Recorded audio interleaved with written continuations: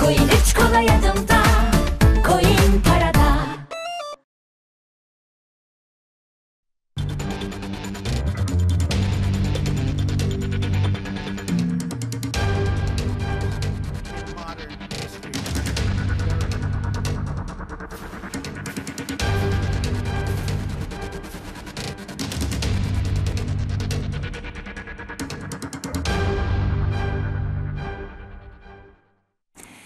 Merhabalar saatlerimiz 14.30'u gösteriyor. Güne bakışla karşınızdayız. Önce ekonomi bölümünü konuşacağız. Döviz tarafında neler oluyor, neler bitiyor. Faiz konusu e, hala gündemimizde. Düşük faizle devam etmek istiyor belli ki ekonomi yönetimi. Bunu da her seferinde sıklıkla dile getiriyor. E, Merkez Bankası'nın ikinci müdahalesini de gördük e, bugün. E, VİOP tarafı için alınan kararlar da var.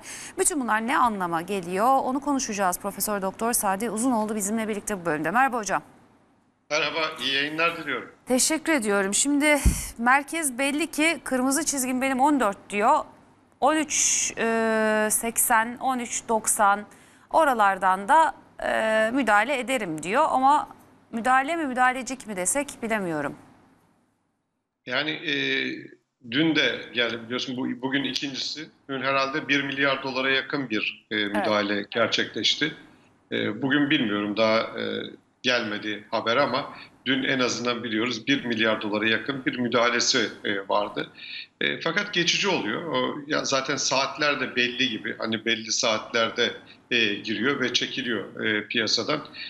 Sanki böyle 14 bir kırmızı çizgi, çizgiymiş gibi bir izlenim var. Ama sonuçta tabii ki Merkez Bankası'nın e, müdahale etme e, hakkı var. E, keşke hep böyle yapsaydı, açık bir şekilde müdahale etseydi veyahut da döviz satım ihaleleriyle gelseydi. Ama tabii geçti o şey dönem. Elinde çok güzel rezervlerin olduğu dönemler vardı. Kendi aşağı yukarı 40 milyar dolar net döviz pozisyonunda döviz fazlalığı olduğu dönemlerde e, tabii ki e, çok daha rahat hareket edebilirdi. E, ama tabii biz o dönem biraz daha e, maalesef politikada girdi işin içine. E, işte o Pa- Papaz Brunson hatırlarsın. Evet. E, onlar da girince e, ortalık bayağı bir karışmıştı e, yanlış hatırlamıyorsam. Ondan sonra da mecburen faizleri yükseltmek zorunda e, kaldık 2018'de e, tekrar. Hocam şimdi e, 13.74'teyiz kurda. Evet. E, yani bu müdahale ile birlikte nereye kadar e, çekmeyi planlıyor ya da nerede tekrar yapacak, e, müdahale edecek? 13.80'de 13.85 o civarlardan geliyor. Çünkü buralarda tekrar bir gelecek mi?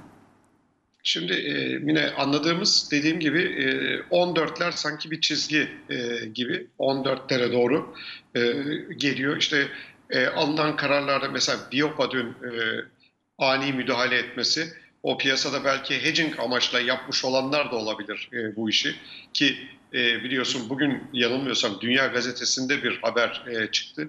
Piyasada artık ticaret neredeyse e, büyük ölçüde dövizle yapılır e, hale geldi. Dolayısıyla malını dövizle alıyor, dövizle satıyor. Zaten e, ihracatçı da biliyorsun yüzde 33 civarında doğrudan e, ve dolaylı ithalata bağlılığı var. E, imalat sanayi ihracatının. E şimdi e, ihracat yapabilmeniz için ithalat yapmanız lazım. E, dolayısıyla elinizdeki dövizi bozdurmak istemiyorsunuz. Çünkü yerine koymak için tekrar e, dövize ihtiyacınız olacak. Ama e, kendi iç piyasamızda da artık herkes döviz cinsinden konuşmaya başladığı için dövizle alım satım e, neredeyse başladı. Hani bizim hep söylediğimiz çift paralı ülke dediğimiz e, olay hemen hemen gerçekleşmiş durumda. Yüzde 60'lar seviyesinde zaten dolarize olmuş bir e, mevduatımız var. E, dövizle tabii ki işletmeler kendi ihtiyaçlarını, işletme sermayesi, sermayelerini dövizle koruyabiliyorlar. TL ile kaldıkları sürece sürekli kaybediyorlar. E, dolayısıyla işletmelerden gelen bir döviz e, talebi olduğunu çok net bir şekilde söyleyebiliriz. Ama bir de şöyle bir şey var. Genelde güven sağlanamadığı için e, maalesef e, insanlar da dövizin bu küçük küçük düşüşlerini alım fırsatı olarak değerlendiriyor. ve e, bir an önce almalıyım diyor. Çünkü arkasından gelecek hikayenin e, çok sağlam olması lazım.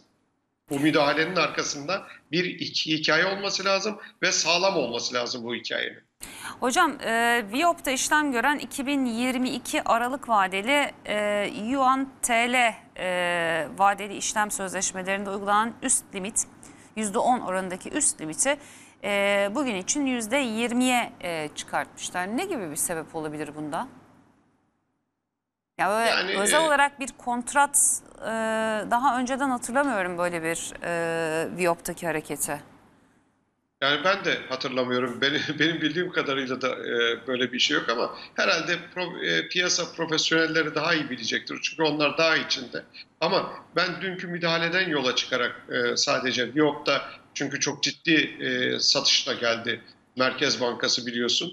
E, burada e, gerçekten hedging amacıyla yapanlar varsa e, onlar da yandı. Yani hani böyle biz spekülatörleri yakarken şeyleri de yakıyoruz. Arada hedging yapanları da yakıyoruz. Problem orada zaten. Benzer şekilde dolar TL e, Viyop'taki kontratlarda da oradaki e, üst fiyat limitinin hesaplanmasına kullanılan değeri sadece yine bugün için 0.05'ten 0.10'a çıkartmışlar. E, bir başka enteresan müdahale de bu olmuş diyelim. Sağlıksız Evet. fiyat oluşumları Evet. nedeniyle e, müdahale ediyorum e, diyor 13.69. E daha önceden yok muydu? Sağlıksız fiyat oluşumları e, sürekli Eylül ayından bu yana sürekli bir e, sağlıksız fiyat oluşumları var. Yani oralarda müdahale etmedi Merkez Bankası doğrudan. E, şimdi e, müdahale ediyor. İşte zamanında e, müdahale etmediğin zaman her şeyi zamanında yapmak lazım yine. E, biliyorsun zamanında yapmazsan e, çalışmıyor ve piyasada güven kalmıyor. O nedenle dedim yani arkasında her müdahalenin arkasında bir güzel hikaye koymamız lazım bizim. İyi bir hikaye e, koymamız lazım ki hikayeyle beslememiz lazım bunu. O beklentileri e, beslememiz lazım. Oysa bugün işte Fitch'i gördük. işte kredi notunu e, işte görünümünü negatife e, çevirdi. E tabi bu da e, olumsuz bir e, sinyal oldu. Bir de dünyada işler çok kötü.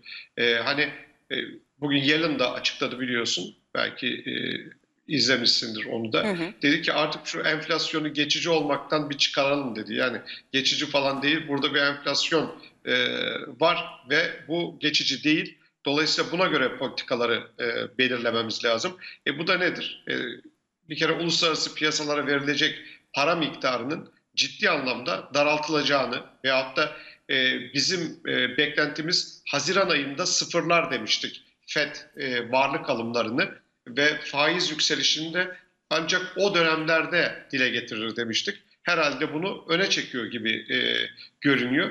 Bu tabii ki çok kötü bir görünüm bizim açımızdan da. Özellikle emerging marketler için çok kötü bir görünüm. Çünkü son e, bizim gibi ekonomilere gelen portföy yatırımlarına baktığınızda tahvilde zaten bir azalma vardı. Hisse senedine geliyordu yabancılar. E, şu son bir iki haftadan bu yana hisse senedi piyasalarına giren para miktarında da bir azalma e, var. Merkez Bankası'nın kendi yayını. Yani ben biraz önce baktım e, portföy yatırımları giren e, portföy yatırımları gelişmekte olan ülkelere diye e, ikisinde de bir geriye doğru e, dönüş var. E, bu da tabii bizim gibi ekonomiler açısından son derece olumsuz. Tabii biz e, burada geçici önlemler alıyoruz. E, bunu denedik biliyorsun. Yani biz 3 yıl boyunca yani 2019, 2020, e, 2018'de başlamıştı. 2018'in sonu 2019, 2020 e, kamu bankalar aracılığıyla, zaman zaman kamu şirketleri aracılığıyla e, döviz satışları yaptık. Çok ciddi rezerv erittik e, o dönemde e, bu döviz e, satışlarıyla. Ha, bu arada tabii açık pozisyonu olanlar e, kapattı, kapatmaya çalıştı. Ama hala 125-126 milyar dolar açık pozisyonda olan reel kesim firmaları var.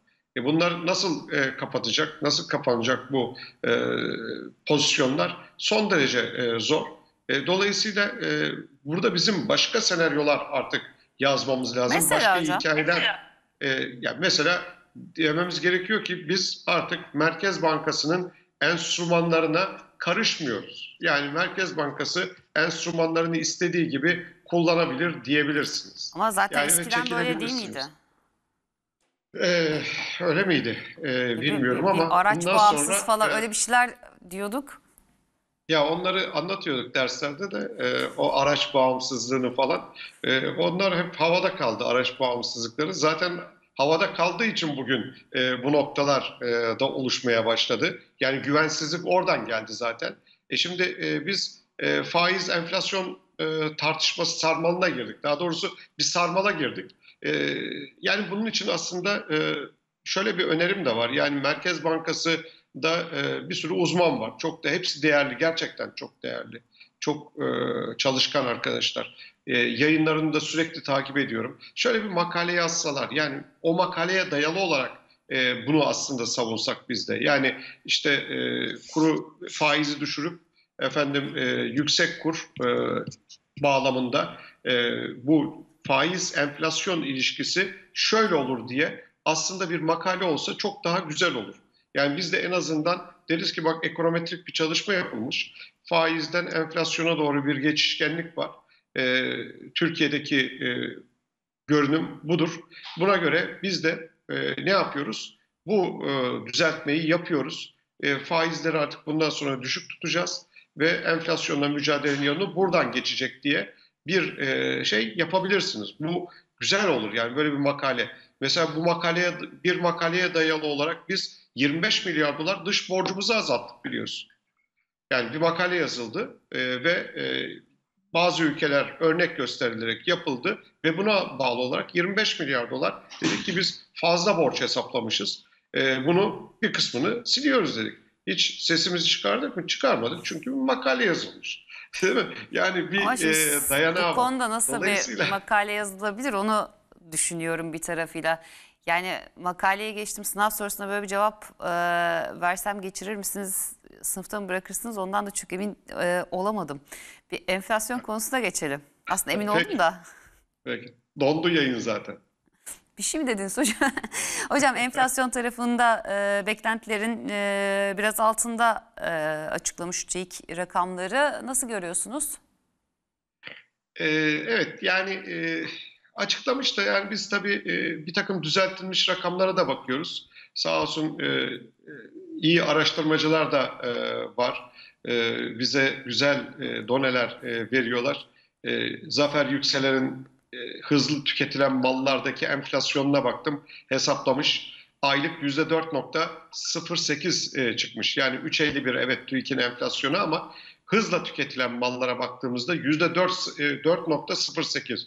Zorunlu harcamalara baktığımızda yani yiyecek içecek gibiden başlayarak ulaşım gibi zorunlu harcamalara baktığımızda aylık enflasyon %43, yıllık enflasyon %27'lerde.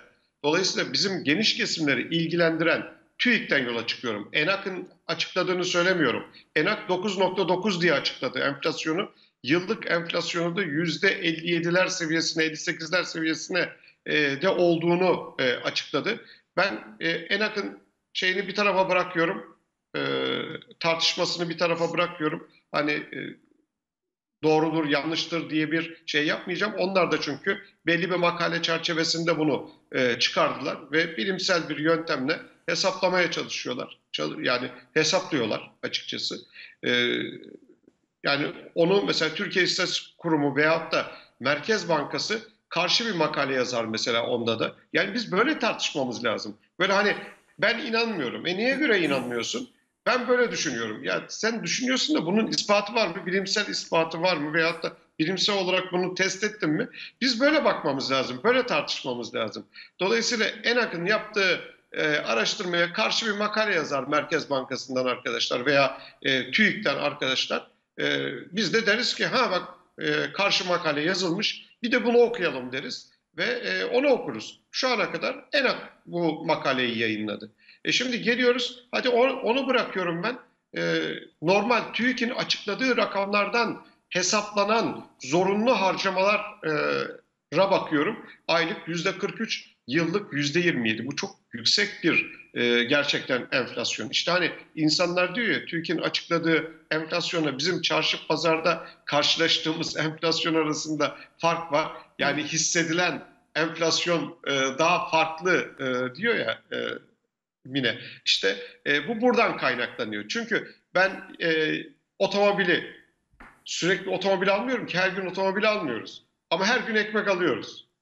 Evet. Veyahut da buzdolabı. 10 yılda bir buzdolabı alıyoruz. Anlat yani e, Sormayın hocam bozulunca benim. çok kötü oluyor iş. Evet o zaman tabii çok kötü oluyor. İşte onun için de enflasyon davranışı nedir biliyor musun Mine? Böyle enflasyon bekliyorsan gelecekte bu enflasyon daha da gider ya ben bunu alamıyorum diyorsan e, baktın eskidi aslında buzdolabı çalışıyor. Ama eskidi ne yapıyorsun? Elinde biraz para varsa bari diyorsun alayım bir 10 yıl boyunca en azından Kafam kurtulurum. E, parayı tasarruf ettim diye düşünüyor. Dikkat et yani vatandaş. Aslında harcama yapıyor ama yüksek enflasyonda bu tasarruf oluyor yani. E çünkü ertesi gün alamayacak. Ge- Geçen gün Emre Evet. Özpeynirci dün e, paylaşmıştı. Bir otomobil e, markasının e, en düşük e, fi- şeyi e, modeli. Evet. E, bir gün önce almakla bir gün sonra almak e, yani kur artı ÖTV baremi ne kadar fark edebilir hocam? Herhalde bir yüzde on e, çünkü ben hesaplamayı söyleyeyim sana orada da. 81 20 bin lira fark etmiş hocam. Çok doğrudur. Çok doğru. Niye biliyor musun? Çünkü biz biliyorsun Türkiye İstatistik Kurumu 25'inden 25'ine alıyor fiyatları. Yani Hı hı. bir beşinde alıyor, bir de 25'inde alıyor. İki kere fiyat alıyor genelde. Beşinde ve 25'inde. Ben onun için şöyle baktım. 25'inden 25'ine acaba kur ne kadar arttı diye baktım. Ee, 25 Ekim'den 25 Kasım'a kadar dolardaki artış yüzde e, 23.3 e, sepetteki artış yüzde 20. Yani son 25'inden sonraki e, duruma bakmıyorum çünkü o daha enflasyona yansımadı. Hı hı. E, demek ki yüzde 23 ise e, normal yüzde 20 diyelim biz ortalama. E, bir arabanın fiyatı 300 bin liraysa otomatik olarak 60 bin lira oradan tık diye geliyor zaten. Ki 300 bin liraya artık herhalde yeni bir araba kalmadı bildiğim kadarıyla. 81 Dört- bin lira fark etmiş hocam. Evet. E, Evet. 400 bin lira ise e, inanılmaz bir rakam tabii. Bunlar çok yüksek e, rakamlar. Tabii tedarik zincirleri de kırıldı biliyorsun e, Mine. Yani tedarik zincirlerinin kırılmasının da çok ciddi bir etkisi var. Onu da e, söylememiz lazım. Yani sadece yurt dışında değil, yurt içinde de tedarik zincirlerinde kırılma var. Ya bu yani arz tarafında çok ciddi e, sıkıntımız e, var. Tabii bütün dünyada ani talep patlaması, arz sıkıntısının yaşandığı e, zamanda gerçekleştiği için e, enflasyon doğal olarak e, bütün dünyanın sorunu ama bizim ekstra e, sorunumuz. Hani dünyada enflasyon sorunu ama işte şeye bakıyorsun Amerika 6.2, e, Almanya'ya bakıyor, bakıyorsun işte 5 civarında enflasyon.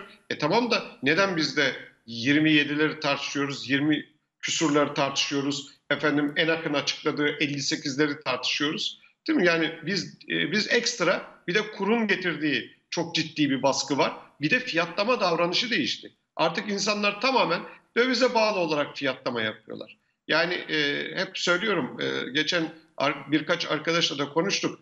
E, yani anlaşma yapıyor ev sahibiyle eve alacak tapu harcını yatırıyor gidiyor e, 900 bin TL'lik eve diyor ki gelmiyor adam e, tapu harcı yatırılmış işlem yapılacak gelmiyor ve satmayacağım ben diyor 1 milyon 170 bin lira oldu benim evim diyor verirsen e, parayı alırsın diyor. Neden? E, diyor işte anlaştık ben de diyor dövizimi bozdum yani TL'ye çevirdim sana e, vereceğim e, diye. E şimdi ben 10.5'tan bozdurdum. E, dolar oldu 13. E, işte 13 küsur oldu. E, sen tapuya gelmiyorsun. E, ben kaybettim deyip dava açanlar var şu anda yani. Problem var yani. Çok çok ciddi bir e, elbette problem var. Peki şimdi e, döviz tarafı yani bir şekilde enflasyon üzerinde bir e, korunmaya çalışıyor e, vatandaşta. Enflasyonun açıklandığı e, TÜİK'in açıkladığı rakamı ayrıca bir başka yönüyle de konuşmak lazım herhalde. Çünkü işçiye, memura, e, emekliye vesaire yapılacak olan zam e, Evet, bu evet. rakamlara bakılarak yapılıyor. Bir de yıllardır merak ederim hocam. E, enflasyon diyelim yuvarlayalım yüzde yirmi. Bu yılbaşında şey e, pasaporta, şuna buna, cezalara vesaire harçlara zam geliyor ya. O niye mesela yüzde kırk oluyor Evet. ya da yüzde elli oluyor? Evet, devlet alacaklarına karşı e, enflasyonu herhalde daha gerçekçi hesaplıyor. Ve Ona göre e, düzeltiyor diye e, açıklayabilirim. Ama e, herhalde e, maaşlarda da bu kez e, tabii bir de seçime giden bir e, ülke var. Sonuçta e, işte bir ay kaldı 2022, ondan sonra da 2023. Yani e, bir, bir yıl civar, bir buçuk yıl civarında bir e, seçim dönemi geliyor. E, kredilerde de zaten yavaş yavaş bir hareketlenme başladı içeride. E, kredi artışları başladı. Hem tüketici kredilerinde hem ticari kredilerde. E, yani aşağıya doğru gidiyordu e, eğilim. Şu anda tekrar yukarı e, yönlü olmaya başladı. Kurdan arındırılmış olarak konuşuyorum. Kur etkisinden arındırılmış. E şimdi e, tabii ki daha yüksek bir e, asgari ücret e, olacak ve ortalama maaşlar herhalde asgari ücret civarında gerçekleşecek. Tabii bunu burada iddialar var. Kayıt dışı ekonomiyi besleyeceği yönünde iddialar var. Çünkü iş piyasada bazı sektörlerde de işler öyle çok da iç açıcı değil yani. İş talepte öyle hani iş talep zayıf. Ee, bugün işte ben Edirne'de yaşıyorum. Doğru işte Bulgarlar gelmese e, bugün esnafın çoğu gerçekten kepenk e, kapatacak e, noktada. Çünkü Ama Bulgar e, levası da olmuş 8 lira hocam. Bedava alıyorlar yani buradan gerçekten. evet Bulgar levası işte alıyorlar işte orada da Ne yapıyor hocam küçük problem var. esnaf Edirne'de? Yani e, küçük esnaf iyi ama şöyle bir şey söyleyeyim. E, şöyle bir gerçek var. Bir kere e, tabii kayıt dışı e, bir kesim var e, burada da her yerde olduğu gibi. E, bir de tabii zincir market etkileri var. Bu iki e, yere doğru gittiği için para çok fazla normal çalışan esnafa ancak e, çok azı belki yüzde onu uğruyor gelen e, Bulgar e, vatandaşlarının. Onun için hani böyle e, sanki zannediyor ki böyle e, esnaf acayip para kazanıyor, köşeyi döndü gibi bir e, hani yazılar e, görüyorum. O da çok doğru e, değil yani onu da e, altını e, çizelim. Dediğim gibi yani bir kayıt dışı olan bir yer var.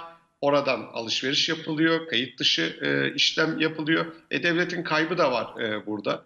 E, ama bir taraftan da dediğim gibi e, zincir marketlerin etkisi var. E, zincir marketlerin e, burada kendileri tedariklerini falan kendileri yaptığı için e, onun buradaki yerel esnafa çok büyük bir katkısı e, yok. Ama yine de diyeceksiniz ki ya e, hocam ya onlar da olmasa yani o yüzde onluk kesimde tabii ki çok haklısın. Yani en azından Türkiye'nin birçok yerinde o da yok.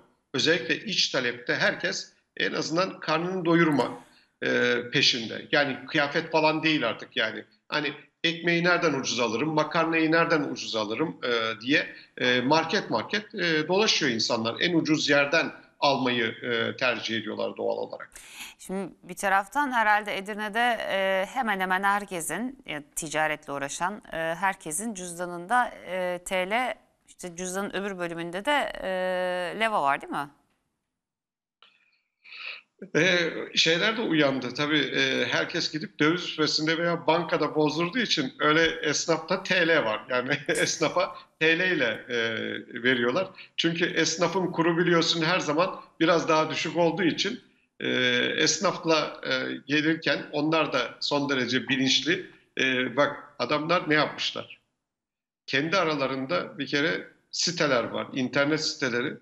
E, nasıl pazarlık yapacaksın? Nereden nerede ucuz mal var? Hemen oraya blok yapmışlar. O bloğa giriyorlar ve kendi aralarında haberleşiyorlar. Yani enformasyon tam yani aralarında. Dolayısıyla e, acayip bir haberleşme e, sistemi var.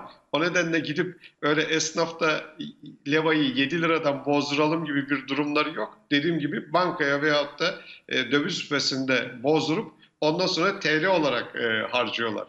Yani e, onlarda da finansal okuryazarlık artmış yani öyle söyleyeyim. Türkiye ekonomisi Bulgar'ın e, finansal okuryazarlığını e, artırdı diye başlık atabilirim gerçekten herhangi bir yazı var. E, bu büyüme rakamlarından da biraz bahsedelim hocam. Büyümede e, işte en çok sorulan sorulardan bir tanesi e, izleyicilerden. E, işte o kadar büyüdük diyorsunuz 7.4 e, ama benim cebimdeki para 7.4 büyümedi. Hayatımda öyle bir genişleme e, yaşamadı ama büyümeden bahsediyorsunuz e, diyorlar. Diyorum ki evet yani rakam bu. Sektör bu kadar büyüdü. Evet. İşte ihracat e, tarafı özellikle çok büyüdü. E, kamu yatırımları tarafı e, büyüme kompozisyonu içerisinde önemli bir e, yer aldı.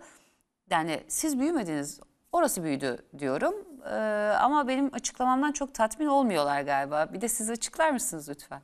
Tabii tabii yani e, şimdi büyüme dediğimiz e, şey üretimdeki değişim biliyorsun. Üretim artıyor. Bir kere üretim artıyor. Şöyle e, şu yani Türkiye ekonomisini bir holding veya bir şirket diye düşünürsek, tek bir şirket olarak görürsek 100 tane mal üretirken örneğin 107.4 üretmişiz. Yani 107.4'e yükselmiş. 7.4 üretimimiz artmış. E tabii burada ciromuz da artıyor otomatik olarak. Yani e, nedir? Üretilen mal ve hizmetlerin mi- miktarıyla fiyatını ne yapıyoruz? Çarpıyoruz. Şimdi bir ciromuz artıyor. Şirket cirosunu ne yapar? Gelir olarak dağıtır değil mi? Bir satın aldığı işte ham madde vardır, enerji vardır, devlete verir, doğalgaz var, devlete verir, yüzde yirmi o da zamlandı şimdi. E, bu ciro bir şekilde dağılıyor. Çalışana da dağılıyor. Patronun karı da var bu işin içinde. Devletin vergisi, bu tür dolaylı vergileri e, var. E, dolayısıyla herkese bu gelir dağılıyor. 107 TL, 1 lira olsun fiyatlar, 107 TL toplumun her kesimine dağılıyor. Fakat bir önceki döneme göre toplam ciro içinde emeğin aldığı pay ne oluyor? Düşüyor. Emeğin aldığı pay düşüyor. Dolayısıyla emek yerine e, örneğin karın payı e, yükseliyor. Veyahut da işte e, iş- girişimci bu işi banka kredisiyle yaptıysa faiz maliyeti belki e, yükseliyor. Dövizle yaptıysa hele hele yandı. E, Tabii dövizle canım. al- alım yapmışsa bu sefer dövize daha fazla e, ödüyor. Dolayısıyla emeğin payı düştüğü için toplam ciro içinde e, çalışanlar özellikle bu işi hissetmiyor. Evet bir taraftan şirketin cirosu artıyor, üretim miktarı artıyor, daha fazla e, iş yapıyor ama e, aşağıda çalışanlar e, bundan pay alamıyor. Aslında problem bu. Ta- toplumun geneline yayılmıyor. Dolayısıyla bizim işte biraz e, tabii biz ihracatla büyüdüğümüz için şu anda hani e, yüksek kur ihracatı destekler e, mantığıyla gidildiği için e, doğru ihracatı e, destekler ama e, ihracatınızın tabii ithalata bağ- bağlılık oranının düşük olması istenir bu tür e, durumlarda. E, dolayısıyla biz şu anda Çin'in bıraktığı boşluğu ne yapıyoruz? Dolduruyoruz. E, Avrupa'ya mal veriyoruz. Güzel satışlar yapıyoruz. Fakat ihracatta ucuz emeği, ucuz işçiliği ihraç ediyoruz. Ucuz doğalgaz ihraç ediyoruz. Ucuz dışarıya, kendimiz dışarıdan pahalı alıyoruz. Elektriği dışarıya daha ucuza ihraç ediyoruz. Oysa bizim buna çok önceden e, önlem alıp ne yapmamız lazımdı? İthal girdi oranımızı azaltmamız lazımdı. Efendim e, işte e, katma değerli ürünlere geçmemiz lazımdı ihracatta. Emek yoğun değil de daha teknoloji yoğun ürünlere geçip karımızı artırabilmemiz lazımdı. İhracatta birim maliyetlerimizi artırabilmemiz lazımdı. Şimdi bizim ihracatta birim maliyetimiz düşüyor. İthalatta birim maliyetlerimiz artıyor. Dolayısıyla bu işi yani eğer yüksek kurda devam edeceksek biz, yüksek kur, düşük faiz diyorsak bir kere e, bu çok kolay bir yol değil. Öyle birkaç aylık bir yol da değil bu. Çok uzun bir yol. E, verimlilikle desteklemeniz lazım. inovasyonla desteklemeniz lazım. Eğitimle desteklemeniz lazım. Teknoloji, dijitalleşme o kadar çok şey- şey var ki sizin üretim yapınız buna uygun mu? E, işte bun- bunlara bizim e, paranın bol olduğu, dünyada paranın bol olduğu 2005'ten sonra bu işin içine girecek. Yani bu kadar kurun düşmesine, TL'nin değerlenmesine izin vermeyecektik. O zaman elimizde kendimize ait, Merkez Bankası'na ait dövizlerimiz de vardı. Ee, yani son 6 Hocam, ayda, son 3 ayda e, değil de çok bunu özür dileyerek- 15 yıl önceden yapacaktık. Çok teşekkür ediyorum hocam. Sağ olunuz katkılarınız için. Ee, 3 Aralık e, dolayısıyla e, Cumhurbaşkanı Recep Tayyip Erdoğan Hacı Kongre Merkezi'nde engelli öğretmen ataması ve engelsiz vizyon 2030 tanıtım toplantısı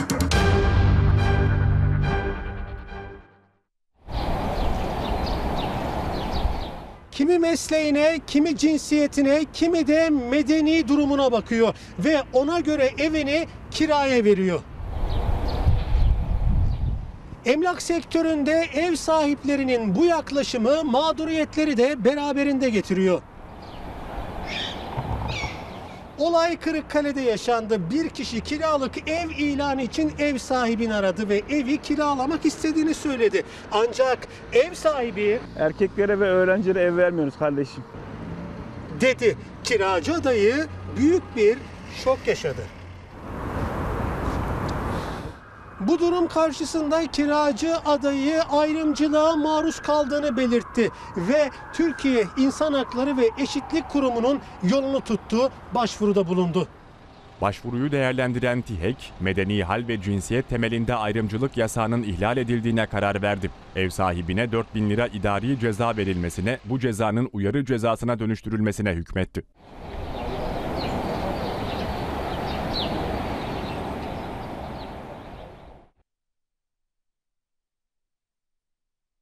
Bütün pratisyen hekimlere 2500, Cumhurbaşkanı Recep Tayyip Erdoğan müjdeyi verdi. Pratisyen hekimlere 2500 lira, uzman hekimler ve diş hekimlerine 5000 lira ek gösterge zammı öngören teklif Meclis Genel Kurulu'nda kabul edildi. kabul etmeyenler kabul edilmiştir. Yasal düzenlemeyle bütün sağlık personelinin ek ödemeleri genel bütçeye aktarıldı. Düzenlemeye göre pratisyen hekimlerin ek göstergesi 13 binden 33 bine, uzman hekimlerle diş hekimlerinin ek göstergesi de 17 binden 40 bine çıkarıldı. Böylece emekli hekimlerin emekli aylıkları da yükselmiş oldu. Aç kocaman ağzını. 55.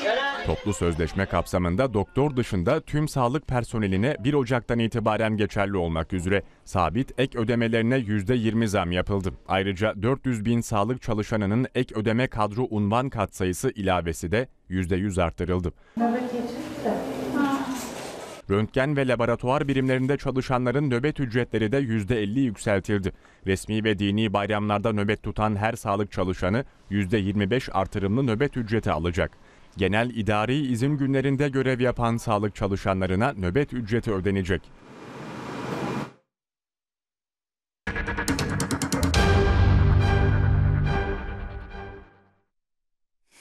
Devam ediyoruz güne bakışa. Şöyle bir e, gündemimizden bir türlü düşüremediğimiz e, bir konuyu tartışarak başlayalım e, bu bölümden sonrasında. Profesör Doktor Bülent Ertuğrul bizimle birlikte enfeksiyon hastalıkları uzmanı. Merhabalar hocam. Merhabalar, iyi yayınlar. E, teşekkür ediyorum. E, yeni Covid-19 vaka sayısının son 24 saatte iki katına çıktığı ifade ediliyor. Omikron varyantının görüldüğü Güney Afrika'da. E, nasıl değerlendiriyorsunuz? Onunla başlayalım lütfen. Ee, hani yapılan çalışmalar sizinle daha önce de konuşmuştuk Mine Hanım. Ee, bu virüsün, bu varyantın çok daha çabuk ve hızlı bulaştığını gösteriyordu ilk çalışmalar. Ee, ve e, daha önceki e, delta'nın yükselişiyle karşılaştırıldığında grafiklerde e, bunun Güney Afrika'da özellikle çok daha hızlı bir e, yükselme eğiliminde olduğu gözlemleniyordu. E, o nedenle de hani bu doğal bir süreç. Şu anda e, o doğal sürecin içerisinde hani ne kadar doğal tabii ki bir hastalık süreci ama virüsün kendisine göre doğal bir süreç. E, şu anda onu yaşıyoruz E, ve e, umarım bu dünyanın geri kalanında da böyle olmaz. Hani o kısıtlamalar veya e, bir takım kurallarla e, bir e, sınırlama sağlanır. E, yoksa e, dünyanın geri kalanında da buna benzer bir biçimde e, bir artış eğilimi olacak gibi görünüyor şu anda. Pandeminin başka bir aşamasındayız gibi görünüyor. E, bunun bize yansıması nasıl olacak? Ee, bize yansıması her ne kadar şu anda e, sekans analizi yapılan suçlarda omikronun bizde olmadığı söylense de bakanlık tarafından resmi açıklama olarak e, hani bu çok da olanaklı gibi görünmüyor bana. E, şimdi şöyle söyleyeyim size, e, bunu tespit edebilmek için e, özellikle şüpheli olgular üzerinde bol bol sekans analizi yapmalısınız. Sekans analizi dediğimiz şey hani o tüm genetik incelemeyi yapmalısınız. Sadece PCR'la pozitif veya negatif olduğuna bakmamalısınız. Tüm genetik incelemeyi yapmalısınız. E, ya bizim e, sekans analiz oranımız o kadar düşük ki e, hani bir e, karşılaştırma yapmak gerekirse yani İngiltere'de neredeyse yüzde 25 olan e, sekans analizi bizde 10 binde 5. Yani 10 bin olgunun 5 tanesine yapılabiliyor. E, böyle olunca da eğer yeterli araştırma yapamazsanız tespit edemezsiniz. Tespit edemeyince de bizde yok dersiniz. E, ama e, ben çok da öyle olduğunu düşünmüyorum. Büyük olasılıkla e, omikron bizim ülkemize de giriş yaptı gibi görünüyor. Ee, olduğumuz aşılar koruyacak mı peki bu omikrona karşı bize? Şimdi ön veriler e, aşıların etkinliğinde bir düşüş olsa da hala ağır hastalık geçirme, yoğun bakıma yatma ve ölümcül e, geçirme konusunda aşıların koruyucu olduğunu gösteriyor. E, ama hastalığı hastalığa yakalanma konusunda e, etkinlikleri biraz azalacak mRNA'nın. Zaten inaktive virüs aşısının delta varyantına karşı da azalmıştı. Oldukça azdı. %50'lerin altına kadar düşmüştü. Ee, orada da gene böyle bir sorun olacaktır inaktif virüs aşılarıyla. Elimizdeki en etkili aşı şu anda mRNA aşıları gibi görünüyor. Ee, orada da bir e, etkinlik azalması e, büyük olasılıkla yaşayacağız. Ama ben üstüne basa basa tekrar ediyorum. Ee, yani bu ağır hastalık veya e, ölümcül seyretmeyi e, aşılar hala çok iyi bir biçimde engelliyor. Ee, bu aşı karşıtlığı konusundaki fikriniz nedir? Ya da aşıya zorlama yapılmalı mı? Zorunlu aşı haline getirilmeli mi? Şimdi e, neredeyse haftanın birkaç günü aşı karşıtlarından bir yıl e, laf ve söz işiten biri Mesela olarak ne diyorlar hocam? hmm, boynuna bir ip geçirip asacağız seni diyorlar. E, şeytansın diyorlar. E, e, kendini e, ne Bill Gates'e satmışsın diyorlar. E, çocukların inşallah ölür, onların ölülerini görürsün diyorlar. Daha sayayım mı? Şimdi Yani- bunlar ama hasta olduğu zaman insan formu olarak sizin karşınıza geliyor değil mi? Ve iyileşme talebini size belirtiyor. Çok iyi bir tanımlama yaptığınız Mine Hanım insan formu olarak bizim karşımıza geliyor. Yani çok güzel bir tanımlamaydı. Ee, yani evet öyle Ee, ama sonuçta ben bir hekimim. Bizler hekimiz. Ee, yani kim olursa olsun, ne olursa olsun. Ee, aşı olmayıp hasta olmuş olsalar bile tabii ki bizim görevimiz. Çünkü öyle bir yemin ediyoruz zaten. Ee, hani din, din, ırk, cinsiyet, milliyet hiçbir ayrım gözetmeksizin, e, siyasi görüş gözetmeksizin tüm hastalara bakmak gibi bir yükümlülüğümüz var. E, yani ben örneğin şu anda sizinle e, aslına bakarsanız bir sosyal sorumluluk olduğundan dolayı konuşuyorum. E, örneğin burada da e, birçok e, laf geliyor. Yani işte televizyon kanallarına çıkıp bir şeyleri söylemek de insanlar şey sanıyorlar. E, bizlerin sizlerden e, ve aşı şirketlerinden bu aşı reklamı yaparak çok ciddi ücretler aldığımızı e, isterseniz siz de açıklayın bunu. Yani böyle bir e, böylece Bedava dağıtılan bir şeyin sanıyorlar. bedava dağıtılan bir şeyin yani aşının zaten neden reklamı yapılsın ki azıcık düşünce azıcık izan yani. O Şimdi kadarını onlar öyle düşünürler diye bakmıyorlar. düşünüyorum Ee, ben de. Yani ilaç şirketleri sonuçta satıyor ya bu aşıları. E, işte Pfizer, BioNTech satıyor ki e, sanırım sizinle geçen gün de konuştuk. Yani şu anda omikronla uğraşıyor olmamızın temel nedenlerinden bir tanesi de yine o ilaç firmaları. Yani bizler de onlarla o kadar mücadele içerisindeyiz ki. E, çünkü gerek Dünya Sağlık Örgütü gerekse e, birçok bilim insanı sürekli şunu söyledi. E, e, Afrika ülkeleri özellikle Sahra altında veya Latin Amerika'da hastalığı hala kontrol altına alamadık ve oralardan kontrol altına alınamadığından dolayı e, bir yeni varyant çıkıp dünyayı tekrar tehdit edebilir dedik. Tam da o oldu zaten. Yani bizim korktuğumuz başımıza geldi. Ama baktığımız zaman e, örneğin e, yeni yapılan bir çalışmada e, ülkeler e, gelir gruplarına göre ayrıldığında üst gelir grubundaki ülkelerin aşı oranlarıyla e, low income dedikleri alt gelir grubundaki ülkelerin aşı oranları arasında korkunç farklılık var. Yani bugün Afrika ülkelerinde ortalama aşı oranı %5'ler civarında. E, ama üst gelir grubunda %60'ları bulmuş durumda, %70'leri bulmuş durumda. Ve dünyada aşı adaleti sağlanmadığından, herkes eşit bir biçimde aşıya ulaşamadığından dolayı biz hala pandeminin bu ağır bilançosuyla karşı karşıyayız. Ee, bunu aşı karşıtlarına anlatabilmek de çok olanaklı değil. Yani artık onu anlatmaktan vazgeçtik ki benim en üzüldüğüm noktalardan bir tanesi e, artık e, kadın bilim insanlarına ki bunlardan bir tanesi ve benim çok saygı duyduğum bir hocamdır Esin Şenol. E, yani ona kadınlığı üzerinden de hakarete varan e, bir takım e, söylemler geliştirmeleri gerçekten e, insanı çok üzüyor. E, hani bunlara söylenecek çok fazla bir şey yok. Yapacak da bir şey yok. e, biz e, önümüze gelen herkese bakmak. Çünkü koruyamıyorsak hekimliğin ilk görevi odur. İlk önce insanların hasta olmamasını sağlamak durumundasınız. Eğer bunu yapamıyorsanız o zaman size gelen hastaları tedavi etmek durumundasınız. Biz şimdi ikinci aşamada hastaları tedavi etmeye çalışıyoruz. Mustafa Çetiner de bize katıldı. Profesör Doktor Mustafa Çetiner. Merhabalar hocam. Merhabalar Mine Hanım, kolay gelsin. Teşekkür ederim. Az önce Bülent Hocam'la konuşuyorduk. Bülent Hocam'a çok e, böyle tuhaf tuhaf şeyler söylemiş e, aşı karşıtı olanlar. İşte e, herhalde Twitter üzerinden ya da çeşitli yerlerden mesaj atmışlar. E, işte aşının reklamını yapmakla suçlamışlar. Ölüm tehditleri savurmuşlar. Size de geldi mi böyle şeyler?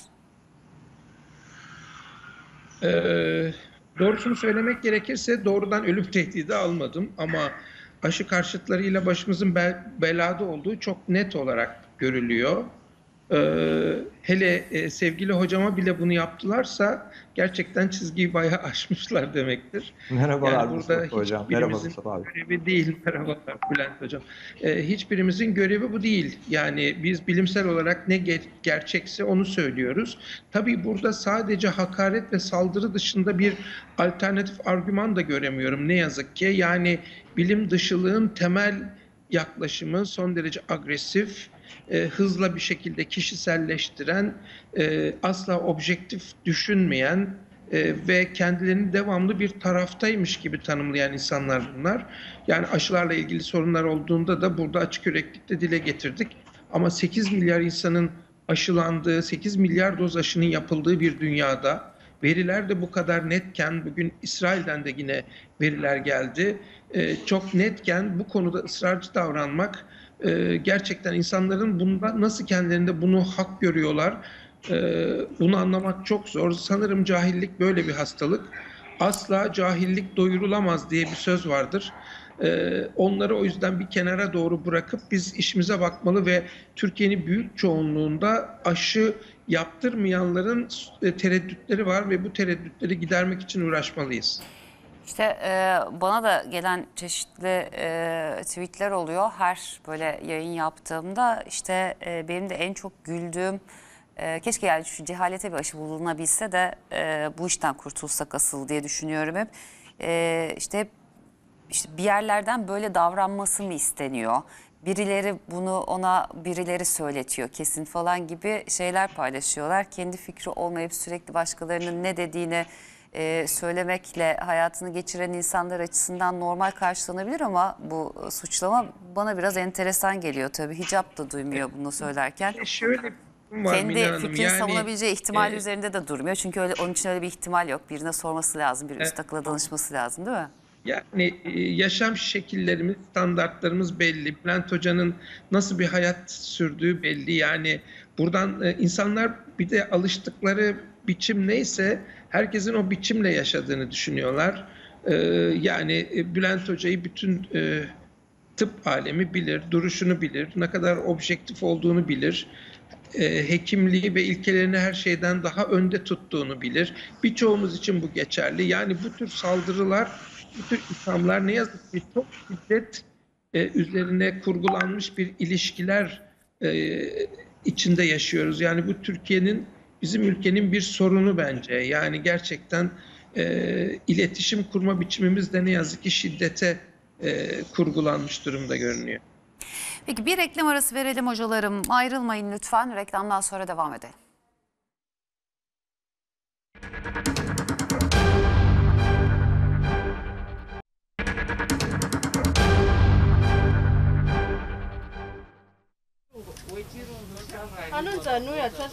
Covid-19 Güney Afrika'da mutasyona uğradı. Omikron varyantına dönüştü, çok sayıda ülkeye yayıldı.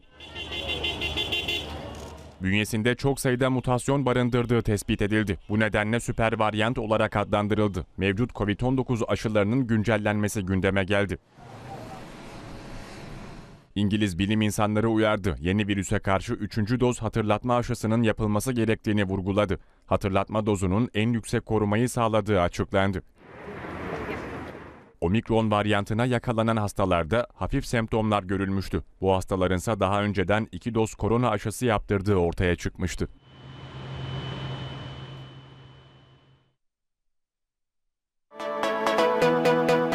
Yeni varyantı aldırmadılar, şirket partisinde virüse yakalandılar. Norveç'te düzenlenen partide en az 50 kişi omikron varyantı kaptı. Noel Partisi kapalı bir odada yapılsa da restoran dışarıdan müşteri kabul edince virüsün yayılması kaçınılmaz oldu. Ülkede düzenlenen Noel yemeği omikrona şimdiye kadar görülen en yüksek bulaş vakası olabilir.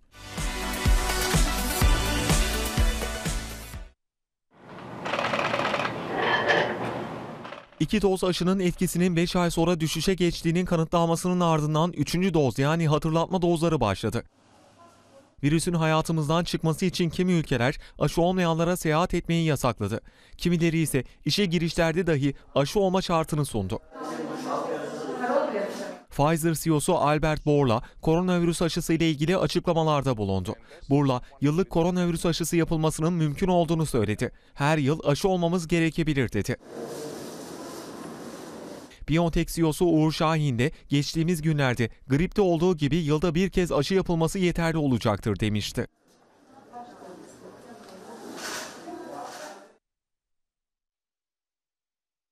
Evet devam edelim. Yine bakışa az önce e, haberini de izledik. E, Bülent Hocam araştırmacılar 3. dozla birlikte mevcut tüm varyantlarda bir bağışıklık gözlemlendiğini söylüyor.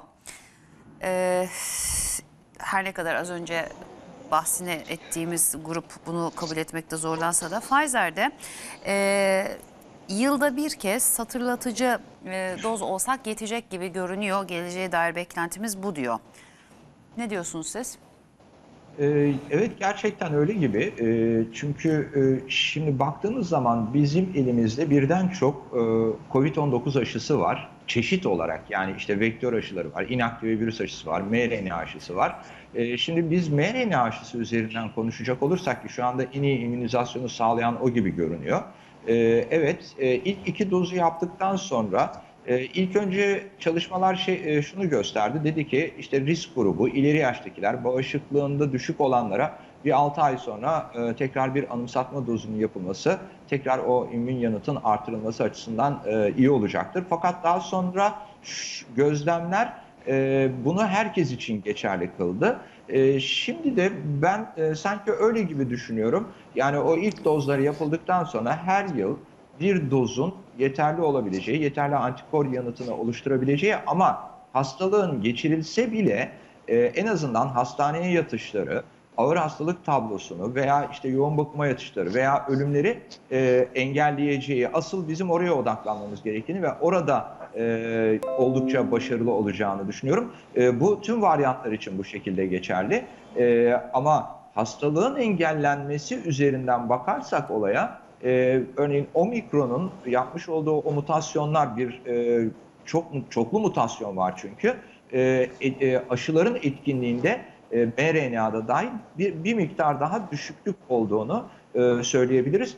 Ama e, biliyorsunuz pandeminin ilk döneminde Dünya Sağlık Örgütü yani e, hastalığa karşı %50'nin bile üzerinde bir bağışıklık yanıtı geliştirecek ve koruyacak bir aşıya razıyız demişti. Biz aslında şu anda e, genel aşı tablosunda bundan çok daha ileri bir noktadayız. E, ve bugüne kadar oluşan tüm varyantlar için de geçerli bu. Ki modifikasyonlar da olabilir. Çünkü mRNA aşı teknolojisi e, artık öğrenilen ve hemen tekrar modifiye edilerek yeni aşının çıkartılabileceği bir teknoloji haline dönüştü. O anlamda da e, herhalde her yıl e, aşıyla biz bunu idame ettireceğiz gibi görünüyor. Ee, Mustafa Hocam üçüncü e, doz bir yıl, yılda bir yetecek mi? Grip aşısı gibi mi olacak sizce de yoksa bu 6 ayda bir e, mi kullanacağız? Şimdi mesela eskiden ilk başta şey denmişti e, ayda bir yapılacak sonra bu 3 aya çıktı arası sonra 6 aya çıktı. Şimdi galiba e, bazı yabancı ülkelerde 3 aya indirilmesi tavsiye edilmiş. Ee, şimdi şöyle, e, tabii omikron varyantının ortaya çıkmasından sonra geçen süreçte 6 ay ara gibi bir zamanı 3 aya doğru çektiler. Bu doğru İngiltere bunu yaptı. Amerika Birleşik Devletleri'nde benzer bir durum ortaya çıkacak. Biraz önce Bülent Hoca'nın söylediği gibi e, önce risk gruplarının 3. doz hatırlatma aşılarının yapılmasının uygun olacağı görülüyordu ama süreç bizi aslında herkese bunun yapılması gerektiğine doğru götürüyor. İki tane önemli mak- makale yayınlandı. Bunlardan e, Bunların ikisi de İsrail'den de aslında. Üçüncü doz uygulamadan sonra koruyuculuğun 9-10 ay kadar devam ettiği gösterildi. E, Bu e, sanki yılda bire doğru bir gidişatı gösteriyor gibi. Benim de izlenimim o.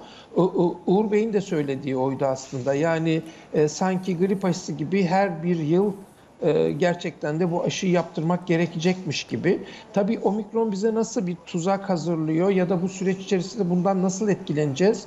O çok önemli. Yani üç tane temel problem var. Birincisi e, bulaşıcılığının yüksek olması ihtimali ki öyle gibi görünüyor gerçekten. Bu Norveç örneğini de verdiniz biraz önce. Bu da biz bunu gösteren bir şey aslında. Ee, İkincisi gerçekten aşılar bundan nasıl etkilenecek? Yani e, 30 üz- 30'un üzerinde mutasyon içeren bir virüsten söz ediyoruz. Ee, Bir varyanttan söz ediyoruz. Bu da çok önemli ama ben de tamamen Bülent Hoca'ya katılıyorum. Yani %50 e, yanıta çoktan fit bir FDA, FDA vardı. Çoktan fit olmuş bir Dünya Sağlık Örgütü vardı. Oranlar biraz düşecektir ama elimizdeki aşıların etkisiz olduğu anlamına gelmeyecek bu. O da görünüyor.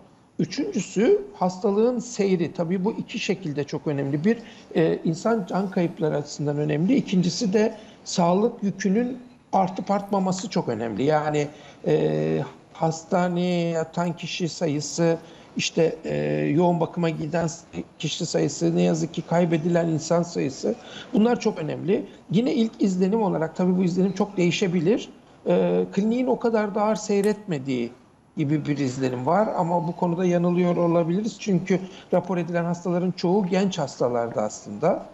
E, böyle bakıldığı zaman e, Biraz daha beklemek lazım ama ilk izlenim sanki yılda bir yapılması yetecekmiş gibi.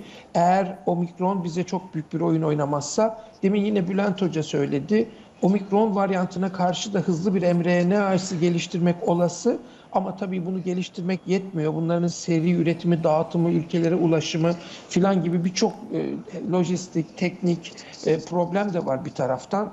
E, o Umuyorum ki elimizdeki aşılarla da omikron varyantını savuşturmamız mümkün olabilir.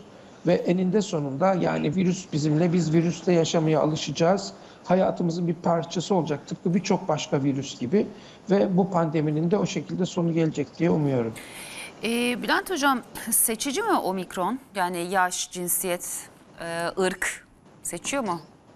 Yok hayır şu anki veriler öyle seçmediğini. Şimdi ilk önce şey söylendi. e, Güney Afrika'daki o ilk yayılım sırasında daha çok gençleri ve çocukları mı tutuyor diye ama e, aslına bakarsanız öyle de değil. E, e, ilk o alanlarda yayıldığından dolayı e, ona yönelik böyle bir e, veri çıktı ortaya. E, ama hayır e, her yaşı e, diğer e, varyantlar nasılsa o şekilde yayılmaya devam ediyor. Mustafa Hocam çok güzel bir şey söyledi klinik olarak nasıl davranacağını e, henüz tam bilemiyoruz. E, ilk veriler sanki böyle daha hafif geçirilecekmiş gibi bir takım spekülasyonlar oldu. Bazı hekimler şey dediler ya işte e, virüs de kendini sınırlamaya başladı daha hafif hastalık tablosu oluşturuyor gibi. Ama e, gerçekten ilk e, analizler yapıldığında ağırlıklı olarak genç nüfusta yayıldığından dolayı e, ve onlarda biraz hafif geçtiğinden dolayı bir e, böyle bir tabloyla karşı karşıyayız. Tabii bir de şunu da bilmek gerekiyor. Yani örneğin Güney Afrika e, sonuçta %25'ler civarında toplumsal olarak aşı yapabilen bir ülke halihazırda ve e, bir de e, test yapma sayıları e, çok yüksek değil. Yani bir bakarsanız test yapma sayılarına da 4000-5000'ler civarındaydı yanılmıyorsam son. E, yani yanılırsam siz düzeltin lütfen. E, o nedenle de e, şey e, yani çok yüksek sayıda da test yapmıyorlar. Hani daha nasıl olduğunu, ne şekilde yayıldığını, toplumun e, nasıl bir ağırlık tablosu oluşturduğunu da tam olarak bilmiyoruz şu anda. Ee, peki ne öngörüyorsunuz? Mesela ilk bu Ee, hikaye ortaya çıktığında e, ağırlıklı olarak e, daha çok yaşlı hastaları ya da kronik e, hastalıkları olan hastaları e, vuracağı yönündeydi. Hatta işte hatırlıyorum e, birileri sokağa çıkabilirken birileri sokağa çıkamıyordu. Öyle tedbirler getirilmişti. Şimdi şöyle ama, şimdi o zaman elimizde aşı yoktu. Ee, ve biz aşılar geldiğinde ilk yaptığımız iş o risk grubunu aşılamak oldu. Yani şimdi e, hastalığın e, tehdit ettiği grupla hastalığın yayıldığı grubu birbirinden ayırmak gerekiyor. Yani hastalığın tehdit ettiği grup e, aslında ileri yaştakiler ve altta yatan hastalığı bulunanlar. Eğer onlar yakalanırlarsa onlar da ölümcül seyredebiliyor. Ee, gençlerde e, evet bazı gençlerde bazı immün e, bozukluğu olan hani günlük yaşamında onu etkilemeyen ama Covid geçirmesi sırasında ortaya çıkan e, bir takım immün yetmezlikleri varsa onlar da ağır geçirebiliyorlar ama onları bilemiyoruz test e, direkt bir araştırma olmadığından dolayı. Bizim için önemli olan hastalığın ağır geçtiği grup. Bunlar ileri yaştakiler ve altta yatan hastalığı olanlar. Ve biz iyi ki, iyi ki onları e, büyük bir bölümünü sanırım %90'lara ulaştık orada %85'e aştık, aşıladık. Yani onları bir korumaya aldık şu anda ve biraz daha rahatız aslına bakarsanız. Şu anda e, her ne kadar yine can kayıplarımızın önemli bölümü ileri yaş ve altta yatan hastalığı olanlarda olsa da onlar ya aşısız ya eksik aşılı olanlar. Şimdi benzer durum aslına bakarsanız Güney Afrika'da da geçerli. Yani onlar da ilk önce bizim yaptığımız gibi e, e, o risk gruplarını aşıladılar. E, peki ne bekliyorum bundan sonraki süreçte? Benim beklentim şu. O e, omikron büyük olasılıkla dünyada hakim suç haline gelebilir. Eğer biz yeterli aşılama oranına ulaşamazsak, biz dediğim sadece Türkiye açısından konuşmuyorum, dünya açısından konuşuyorum. E, o aşılama oranına ulaşamazsak bir dahaki süreçte yeni bir varyantı konuşuyor oluruz gene birlikte.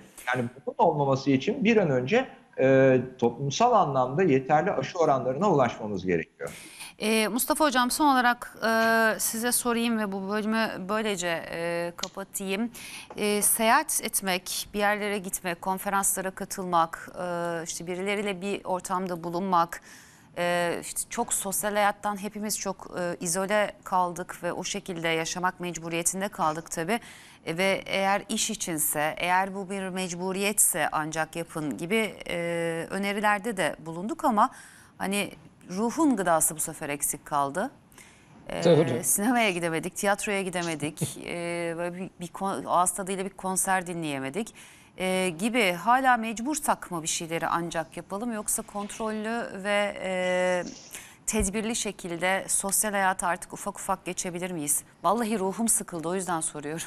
Çok Yo doğru ruhu sıkılan birine soruyorsunuz.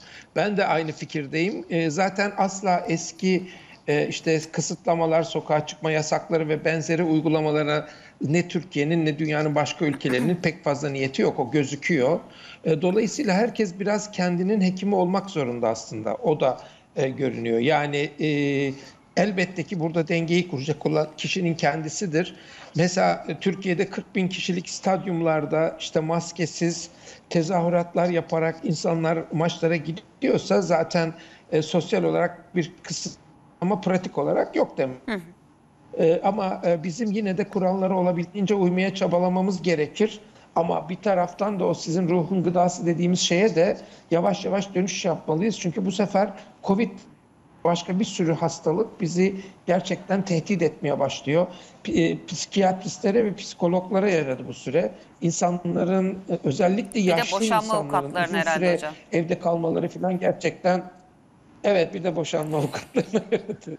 Yani gerçekten çok kolay olmuyor. Özellikle yaşlıların evde tutulmaları falan çok zor oluyor. Ee, bu süreci dediğim gibi e, Bülent Bey de aynısını söyledi. Aslında herkes aynısını söylüyor. Aklın yolu bir. Olabildiğince aşılanma oranlarını artırarak yapmalıyız. Rakamları verirken 18 yaş üstü diye vermemeliyiz. Artık toplam nüfusu vermeliyiz. Ee, bir yıl gibi bir neredeyse bir zaman oldu. Ee, biz artık ilk e, aşılananları da aşılanan grupmuş gibi e, söyleyip sayıları yüksek söylememeliyiz. Çünkü onların da yeniden aşılanması lazım. Mesela üçüncü doz aşılanmalarda ciddi bir e, düşüklük var. Bunların nasıl düzeltilebileceğine odaklanmalıyız. Yani bence aşı sorununu Türkiye'de bir şekilde çözmeliyiz. Yani tedarik sorunu yokken aşılamada geri kalmak yani çok kabul edilebilir bir şey değil bana göre. Peki çok teşekkür ediyorum her ikinize de sağ olunuz katkılarınız için. Teşekkürler, iyi yayınlar Mine Hanım. Ben de teşekkür Mustafa Hocam, ederim. görüşmek Bülent Hocam iyi çalışmalar. En kısa Evet. zamanda yine ekranda buluşmak üzere e, diyorum. Güzel haberlerle buluşmak üzere diyorum. Sağlıkla kalın. E, bir e, gün gelişmelerine bakalım birlikte sonrasında devam edelim.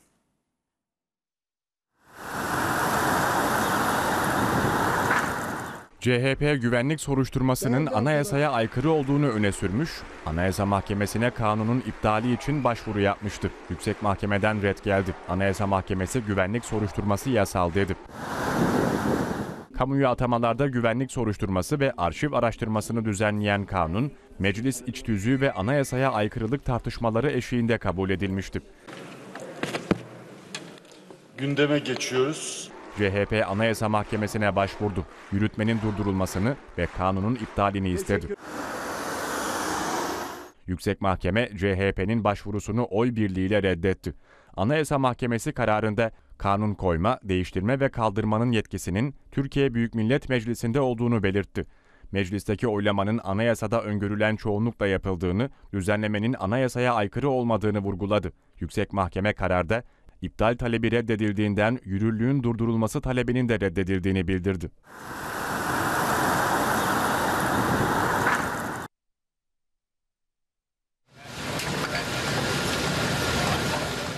E bu Merkez Bankası'nın zaten yasasında olan bir şey. Böyle bir yetkisi, böyle bir hakkı var. Böyle bir şey gerekli olduğu zaman Merkez Bankası bu tür müdahaleleri yapar, yapma hakkına sahiptir. Cumhurbaşkanı Recep Tayyip Erdoğan 7 yılın ardından sonra gelen ilk hamleyi bu sözlerle yorumlamıştı. Merkez Bankası için piyasaya müdahale hakkı var dedi. Çok geçmeden ikinci adımda geldi. Merkez Bankası bir gün arayla döviz piyasasına ikinci kez müdahale etti. Kararın gerekçesi olarak döviz kurlarında görülen sağlıksız fiyat oluşumları gösterildi. Piyasaya satım yönünde doğrudan müdahale edildiği açıklandı. Merkez Bankası 2014'ten sonra ilk kez 1 Aralık'ta ilk müdahaleyi yapmıştı. Yaklaşık 1 milyarlık dövizi satarak doğrudan piyasaya etki etti.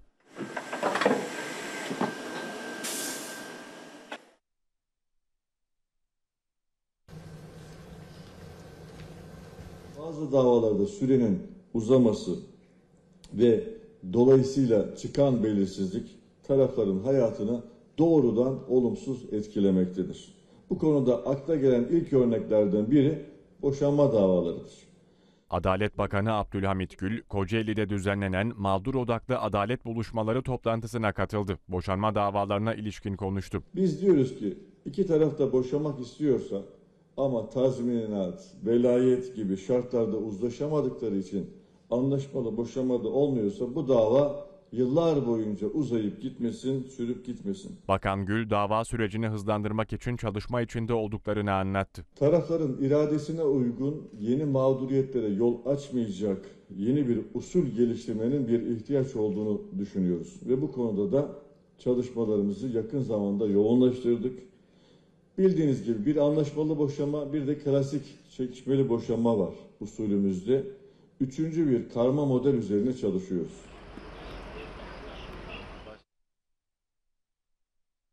Türkiye'deki asgari ücret bir asgari ücret değil, bir geçim ücretidir.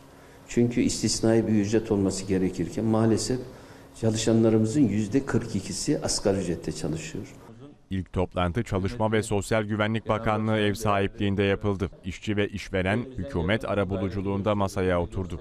2022 yılında uygulanacak olan asgari ücret için pazarlıklar ılımlı bir havayla başladı.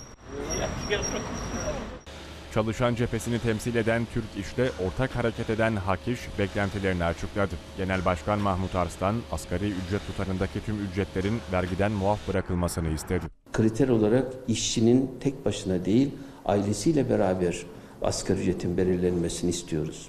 E, sosyal güvenlik primimizin yüzde beşini e, hazineden işçiler adına hükümetin karşılamasını istiyoruz. Asgari ücret tutarındaki bütün ücretlerden vergi kesilmemesini istiyoruz. Bütün ücretlerin asgari ücrete tekabül eden miktarından vergi kesilmemesini istiyoruz.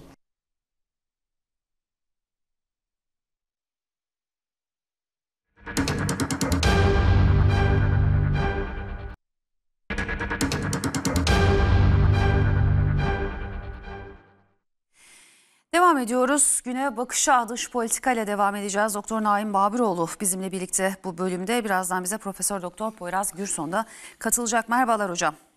İyi yayınlar diliyorum Mina Hanım. Teşekkür ediyorum. Sağ olun. Ben teşekkür ediyorum. Hocam işte geldi çattı o gün. Ne olur Evet. ne olur ne olur diye konuşuyoruz günlerdir. Ee, ne olacak? Son böyle bir tur daha ee, üzerinden geçelim istiyorum sizinle Tabii. birlikte. Tabii.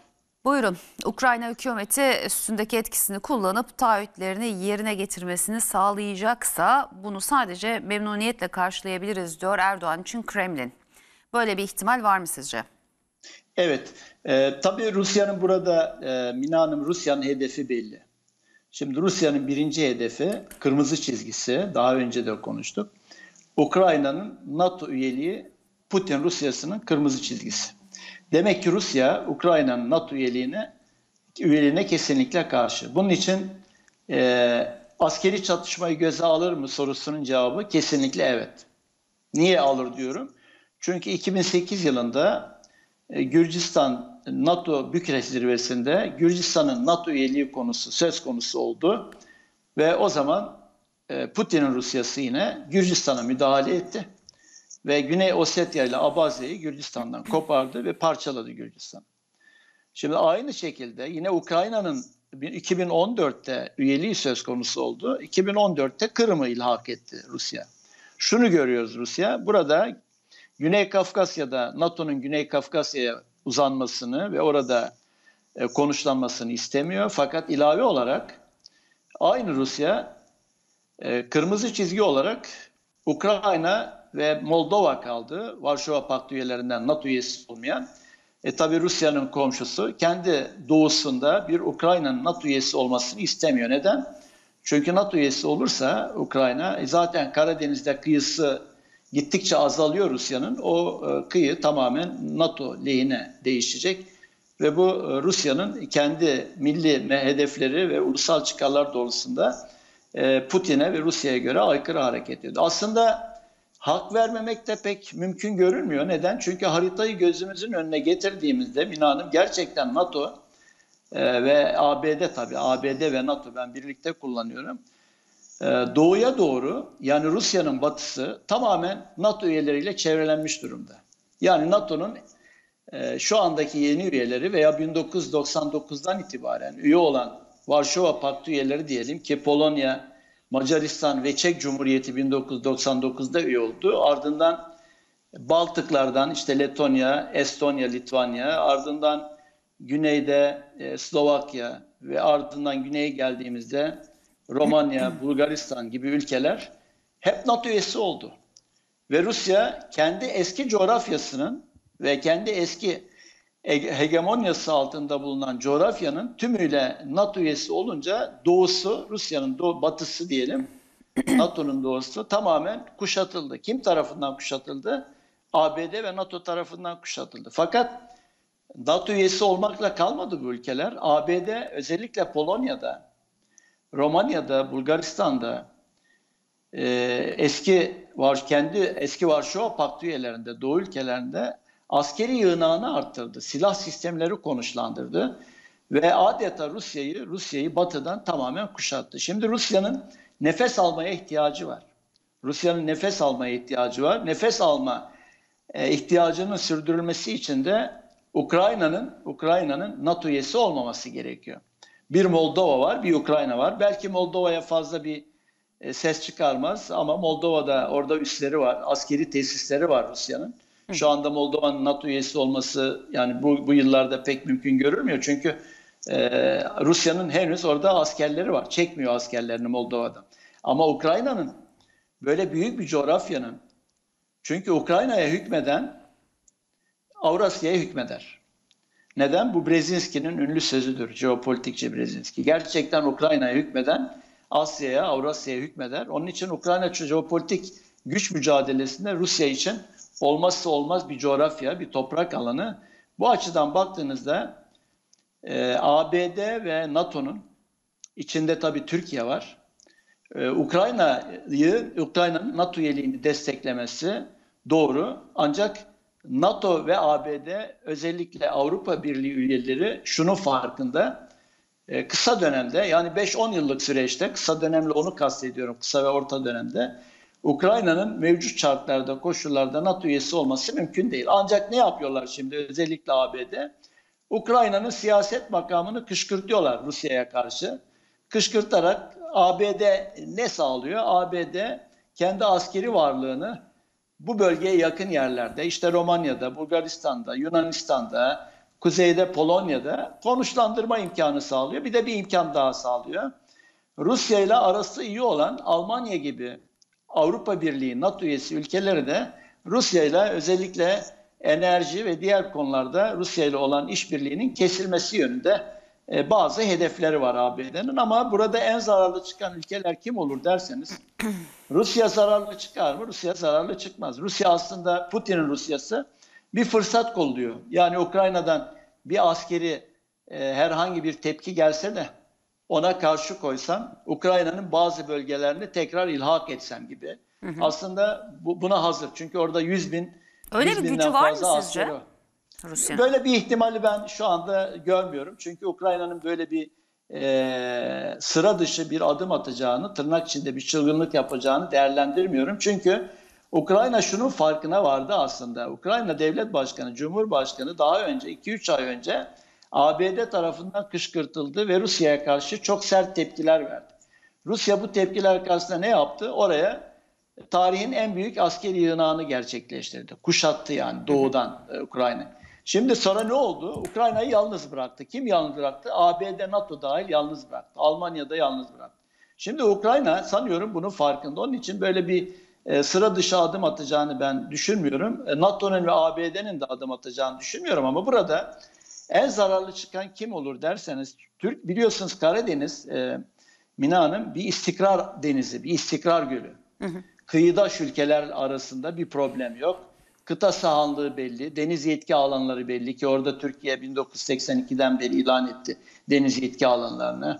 Ee, herhangi bir çatışma Ege gibi, Doğu Akdeniz gibi böyle ihtilaflı, çatışmalı, uzlaşmaz bölgeler yok. Rusya, kıyıdaş ülkelerin işte doğudan batıya sayarsak Gürcistan, e, Rusya, Ukrayna, Romanya, Bulgaristan, Türkiye e, bu coğrafyada yani Karadeniz'de barış gölü haline de çevirmişler. Ancak eğer bir çatışmaya dönüşürse Ukrayna-Rusya arasındaki çatışma e, NATO'nun da varlığı ve ABD'nin varlığı Karadeniz'de ister istemez olacak. Buradan en zararlı çıkan ülke Karadeniz'de en uzun sınırı olan ülkelerden biri olan Türkiye olur. Karadeniz artık istikrarsızlaştırılır. Bir çatışma alanı haline dönür. Doğu Akdeniz'de, işte Suriye'de, Libya'da olduğu gibi. Bu da tabii Türkiye'nin ulusal çıkarlarına aykırı. Türkiye şu anda bir arabuluculuk rolü üstlenme durumuna geldi ama Putin'in Rusyası bu arabuluculuğu sanıyorum sadece esir mübadelesi yani tutsakların değişimi ve e, doğudaki e, bazı e, gruplarla yani Rusya'nın desteklediği e, gruplarla e, Ukrayna arasında bir arabuluculuk istiyor Rusya ama bunun dışında tamamen Rusya ile Ukrayna arasında ortada hakem veya uzlaşmacı bir rolü, bir aktörü e, Rusya istemiyor. Ama e, Türkiye'nin şunu yapması lazım bana göre. E, yani e, üst noktadan mesajlar verme yerine, üst noktadan mesajlar verme yerine, yani Ukrayna'yı tümüyle destekleyen mesajlar verme yerine Almanya gibi, bazı Avrupa Birliği ülkeleri gibi daha ılımlı hareket ederek Rusya'yı kışkırtmadan, Rusya'yı tahrik etmeden orta yolu bulan, dengeyi bulan, evet Kırım'ın ilhakına kesinlikle Türkiye karşıdır, doğrudur. Orada e, Türkler vardır, doğrudur, hiç kuşku yok.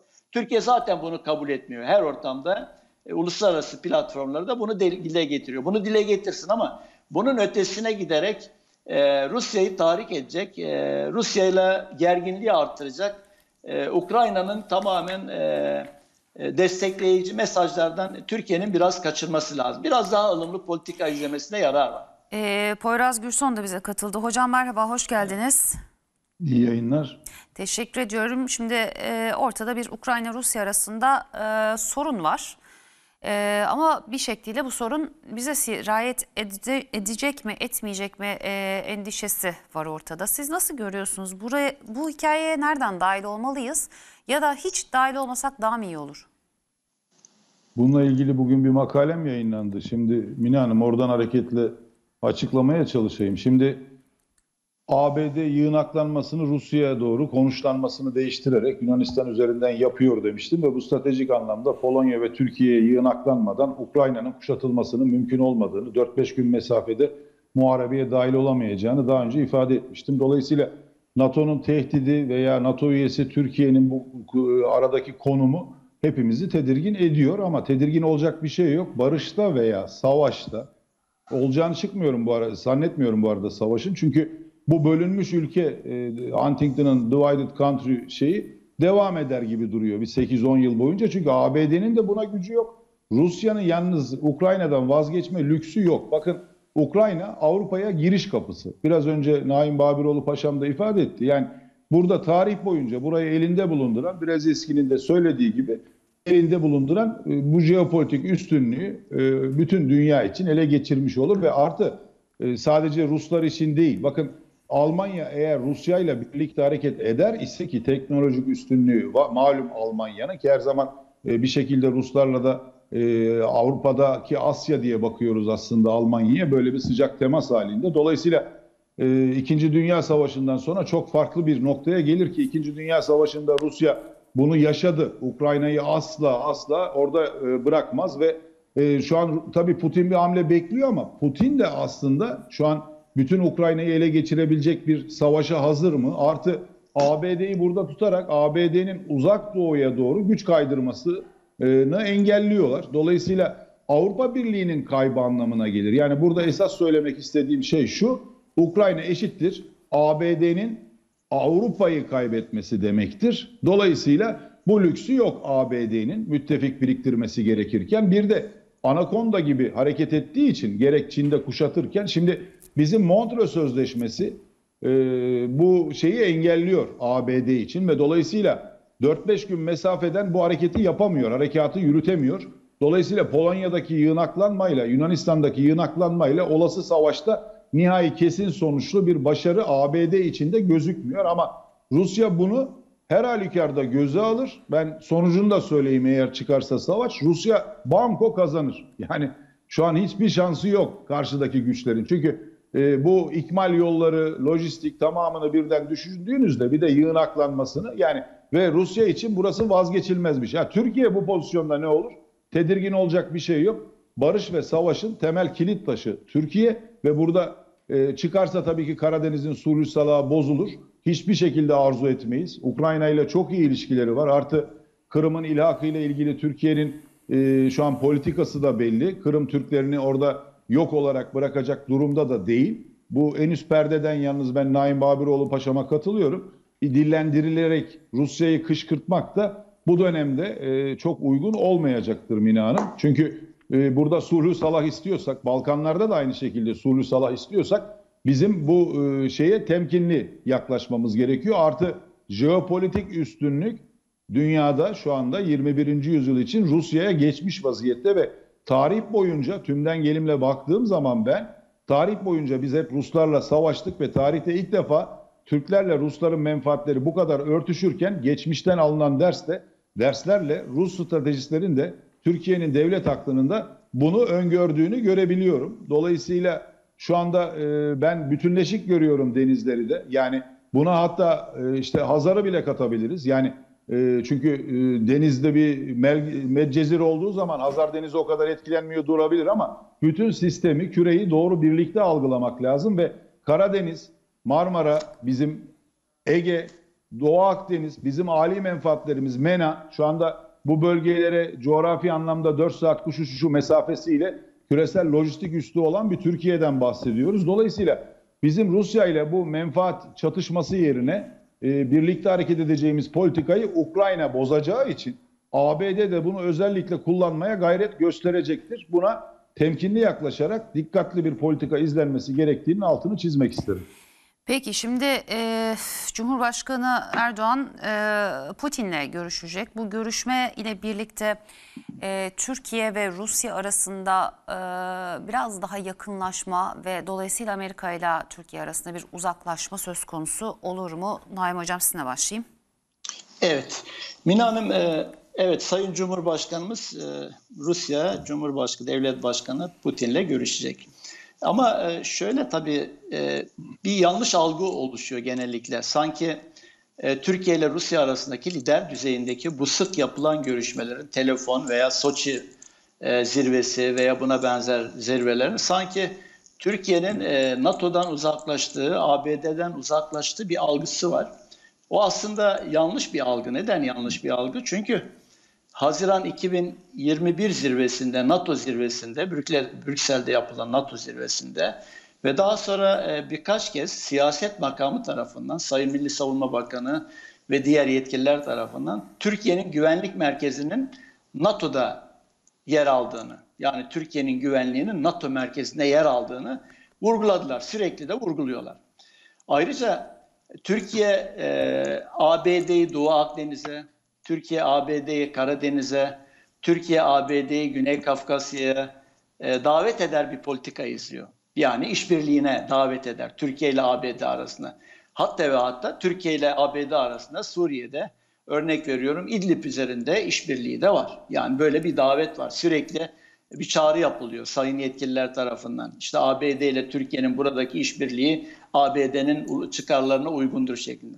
Şimdi bu açıdan baktığınızda aslında Türkiye Rusya yönünde değil, Rusya'nın karşısında NATO ve ABD yönünde politika izliyor. Libya'da da öyle. ABD'yi davet ediyor.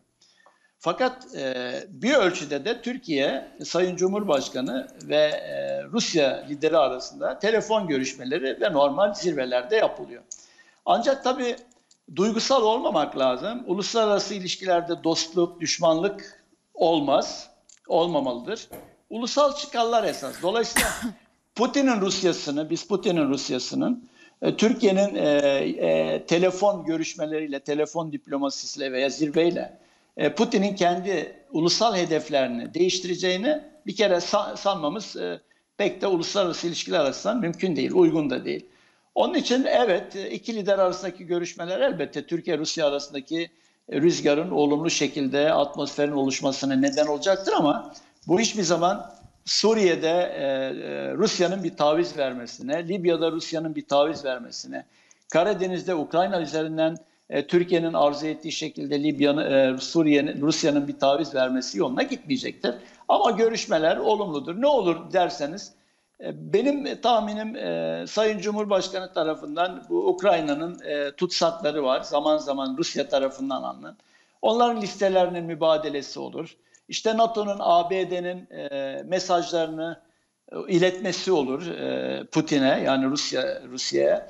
Ama e, Rusya bunun kabul eder mi sorusunun cevabı e, bana göre hayır kabul etmez. Ama görüşme daima iki lider arasındaki görüşme kim olursa olsun e, görüşmemekten daima daha iyidir. Ama bu şu şu e, hayale ya da şu algıya yanlış algıya kapılmayalım. E, Suriye'de, Libya'da, Doğu Akdeniz'de ya da Karadeniz'de e, Rusya'nın e, kendi tavrını, tutumunu e, Türkiye'nin görüşmesiyle değiştireceği anlamı tümüyle yanlış. Çünkü Putin e, daha önceki liderlerden farklı bir e, farklı bir politika izliyor, farklı bir strateji izliyor. E, gerçekten tarihe geçecek adımlar dağıtıyor.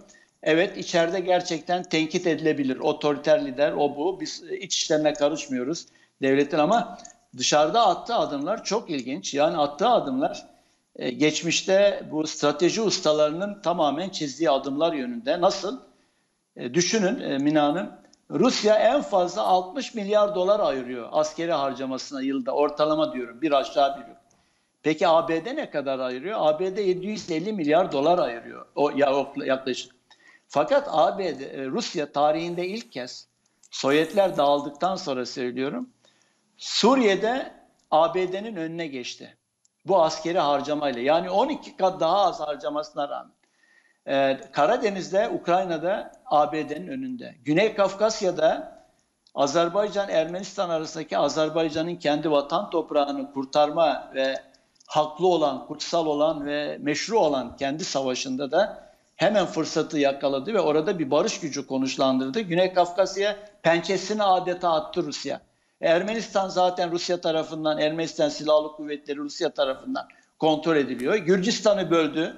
Güney Ossetya ile Abezya'yı kopardı. Şimdi böyle bir Rusya'dan söz ediyoruz. Bu Rusya Bir bakıyorsunuz Putin aslında fazla görülmüyor. Fazla demeci de yok. Fazla açıklaması da yok. Ama herkes herkes Rusya'yı ve Putin'i konuşuyor. Fazla öne çıkmıyor ama herkes onu görüyor. Bu e, önemli bir stratejik adımdır bu. Yani bu öğreti e, tabii Rusya'nın e, Sovyetler Birliği'nden sonra dağ, Sovyetlerin dağılmasından sonra Rusya'nın tekrar o eski gücüne ulaşması yönünde Putin'in attığı bu adımlar bana göre tarih adım. Bakın Ukrayna'da ABD Rusya'ya rağmen bir şey yapamıyor. Gürcistan'da Rusya'ya rağmen bir şey yapamıyor. Karadeniz'de Rusya'ya rağmen bir şey yapamıyor. Ne yapıyor? Biraz önce e, Poyraz hocamın dediği gibi işte e, NATO üyesi olan Yunanistan'da ve sonradan NATO üyesi olan Bulgaristan, Romanya'da ve o bölgelerde askeri yığınağını arttırarak Rusya'yı e, batıdan e, kuşatıyor. Ama bunun ötesinde e, Putin'in attığı adımlara karşı dur diyebilecek durumda değil. Nasıl değil? 12 kat fazla harcamasına rağmen değil. Mesela öyle bir Rusya'dan bahsediyoruz. Ee, İsrail'le İsrail'le e, İran arasında ara buluculuk yapan, İsrail'le Suriye arasında ara buluculuk yapan, Körfez ülkelerinde birbirleri arasında ara buluculuk yapan böyle bir değişik liderden size Libya'da iki cepheyle görüşen yani Hafter'i destekliyor ama karşıdaki ulusal mutabakat hükümetiyle de görüşen ve onların ikisini Moskova'ya davet edip hakemlik rolü üstlenen bir liderden söz ediyoruz. Bu önemli bir kazanımdır. Bu açıdan son cümlem şu. Bu açıdan baktığımda ben ABD'nin ve NATO'nun Almanya burada çok akıllı politika izliyor Merkel sayesinde. Almanya Rusya'nın durumunu bildiği için dikkat ederseniz yüksekten Rusya'yı kınayan bir mesaj vermiyor. Türkiye'nin de böyle yapması lazım. Ama diğer NATO'nun e, ve ABD'nin verdiği mesajların sadece diplomatik bir çağrı olmaktan öteye geçmeyeceğinin altını çizelim. Aslında özetle az laf çok iş diyor sanki Evet. Putin öyle mi? Evet, aynen öyle diyor. Az değil çok. Test- Eylem evet az az laf, eylem çok. Sahada, her şey sahada. Yani aktifken pasif, yakınken uzak görünüyor. Bu Sun Tzu'nun 2500 yıl önceki öğretisini takip ediyor. Yakınken uzak gibi görünüyor. Pasifken aktif gibi görülüyor. Pas, düzeltiyorum. Aktifken pasif, yakınken uzak. Dolayısıyla bu Sun Tzu'nun öğretisini uyguluyor. Fakat şu var, e, Putin'i herkes konuşuyor dünyada. Başarılarından söz ediyor. Nasıl konuşuyor? E şimdi bir, bir yerde 750 milyar dolar harcayan bir ABD var askeri harcamasına. Ki Çin en fazla 250 milyar dolar harcıyor. Ama Rusya 60 milyar dolar harcıyor. Dikkatinizi çeker. 12 kat daha har- harcayan bir Rusya Suriye'de ABD'nin önünde. Karadeniz'de, Ukrayna'da, Güney Kafkasya'da yani Gürcistan bölgesinde, Ermenistan bölgesinde ABD'nin önünde, Libya'da ABD'nin önünde. E, Bu önemli bir olay. Demek ki şu, savaş tarihini incelediğimizde, konumuz değil ama 5000 yıllık savaş tarihini incelediğimizde savaş tarihinin de sonucu budur. Teknolojik gelişme ve para zaferi ve sonucu getiren mutlak bir faktör değil. Onun altını çizelim. Teknolojik üstünlük ve para her zaman başarıyı elde etmeye yeterli değil. Veya askeri gücün üstünlüğü her zaman başarılı olma durumunda tek faktör değil. Eğer öyle olsaydı Suudi Arabistan e, e, Rusya kadar harcıyor her yıl askeri harcamasına. O zaman Suudi Arabistan'ın en az Rusya kadar güçlü olması lazımdı. Ama demek ki teknoloji ya da e, para ya da askeri harcama her şeye yeterli değil. Ee, siz de benzer tespitlerde misiniz Poyraz Hocam?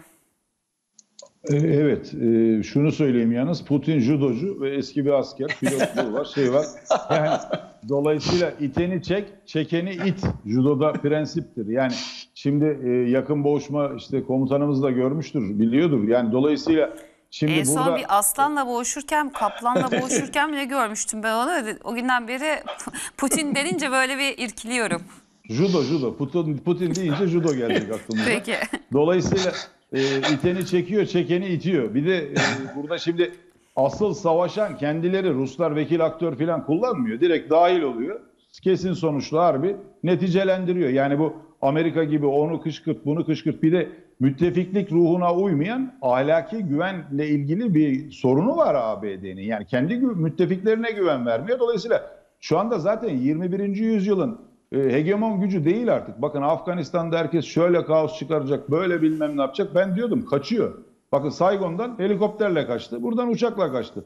Uzak doğuya gidecek. Şimdi bakın kendi içinde de karışıklıklar çıkacak. Bir yıl sonra ben ABD'yi Orta Doğu'da filan, Suriye'de, Irak'ta filan göreceğimizi zannetmiyorum. Bakın Mine Hanım altını çiziyorum. Çünkü jeopolitik üstünlük 6'da bu 6000 deniz mili kısalması ne demek Kuzey Kutbu'ndan geçecek Çin'den üretilecek malzemelerin e, yolunun? Ümit Burnu'nun keşfi gibi bir süreçteyiz. Artı Türkiye'de bölgeler üstü güç olmayla ilgili ben Sayın Putin'le Sayın Erdoğan'ın Cumhurbaşkanımızın görüşmesini son derece olumlu buluyorum. Artı bu ilişkilerin artmasını da son derece olumlu buluyorum. Çünkü ABD'de e, proxy aktörleri destekleyerek ve terörü destekleyerek hangi müttefikini incittiğini bir kez daha jeopolitik akıldan Bob Menendez aklından uzaklaşması gerektiğini bir kez daha anlamış olacak. O senatör diaspora ile evli olabilir. ABD'deki bu kadar think tank, bu kadar strateji kuruluşu bunları görmüyorsa ona yapacak bir şey yok. Gelecekte Portekiz, İspanya gibi 100 yıl sonra kendi kıtasında hapis Meksika gibi bir ülke olur. Yani Türkiye'siz bakın e, ne Filipinler'de ne Uzak Doğu'da ne Doğu Akdeniz'de ne MENA'da bir şey yapamazsınız Afrika'da. Yani dolayısıyla Türkiye'nin şu anda stratejik jeopolitik önemine istinaden tabii hassasiyetlerimiz var. İçbirlikte işte huzurla birlikte bunları tefrik etmeliyiz. İktisadi hassasiyetlerimiz var. Ben bunların da aşılacağını düşünüyorum. Çünkü çok önemli bir dönüşüm e, ve şey noktasındayız. Bu pandemiyle beraber siyasi tarih sıkıştı. Tekrar altını çizeyim.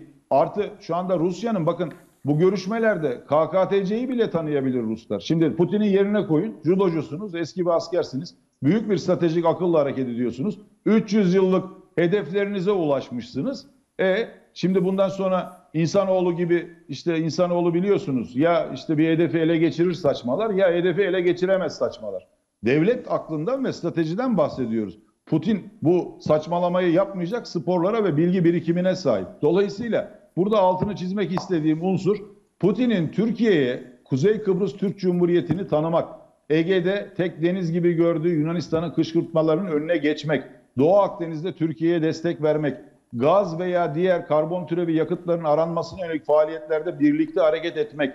Yani birçok alanda çünkü Rus ve Türk menfaatleri örtüşüyor ve tarih boyunca hiç bu kadar yakın olmamıştık. Olmamız da gerekiyor stratejik anlamda. Dolayısıyla ABD'nin Birleşik Arap Emirlikleri üzerinden uzatacağı havuçlar yerine stratejik oyuna daha dikkatli, temkinli devlet aklıyla bakmamız gerekiyor Mine Hanım. Ee, peki arkadaşlar reklam vaktimiz geliyor mu? Peki bir reklama gidelim reklamdan sonra devam edelim.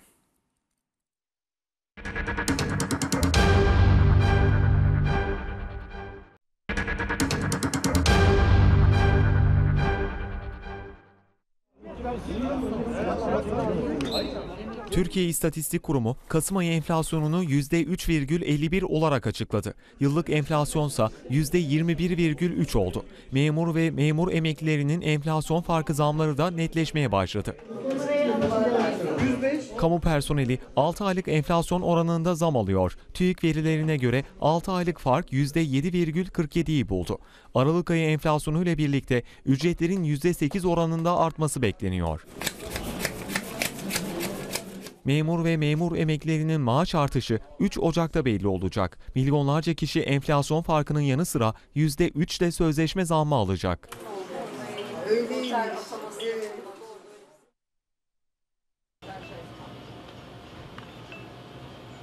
Yeni varyanta karşı aşılar işe yarıyor mu? Koronavirüs aşısını geliştiren Türk bilim insanı Uğur Şahin açıkladı.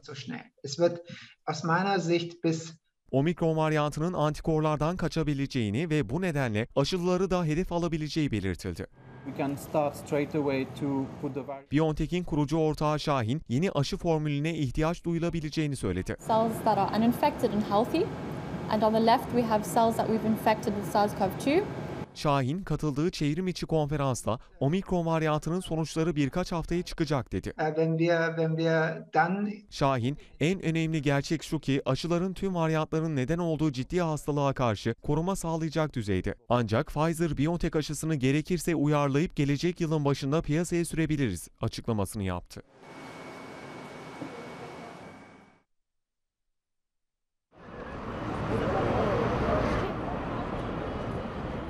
Emeklinin de memurun da işçinin de gözü kulağı Türkiye İstatistik Kurumu'ndaydı. TÜİK yıllık enflasyonu %21,3 olarak açıkladı. Maaşlarına enflasyon farkı bekleyenlerin zam oranı netleşti. Ancak muhalefet rakamları inandırıcı bulmadı. Saadet Partisi Genel Başkanı Temel Karamollaoğlu sosyal medyadan paylaşım yaptı. Gerçek enflasyonun %60'larda olduğunu iddia etti. TÜİK'e seslendi. TÜİK bugün kendisine sorulan saat kaç sorusuna siz kaç buyurursanız efendim cevabını vermiştir.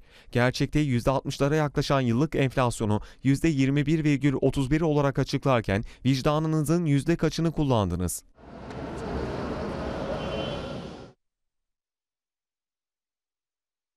Devam ediyoruz güne bakışa. Naim Hocam hikayenin içerisine bir de şöyle Belarus koysak neler olur? Evet, evet. Tabii Beyaz Rusya, Belarus e, Putin açısından, Rusya açısından çok önemli. Ee, ve önümüzdeki süreçte büyük bir olasılıkla e, Belarus'la Rusya arasında daha derin e, bir ittifak olacağını değerlendiriyorum. Eğer Batı yani Avrupa ve NATO, ABD, Belarus'un yani Beyaz Rusya'nın üzerine daha fazla gelirse e, devlet başkanı, cumhurbaşkanı e, Rusya'dan nükleer silah talebinde bulunacağını söyledi. Fakat daha da öte gidebilir. E, Rusya ile Belarus e, bağlanabilir birbirine. Yani e, Rusya'ya bağlanabilir. Bu, da, bu durum var. Bu tamamen zaten aslında Putin'in de e, tam da istediği bir konu.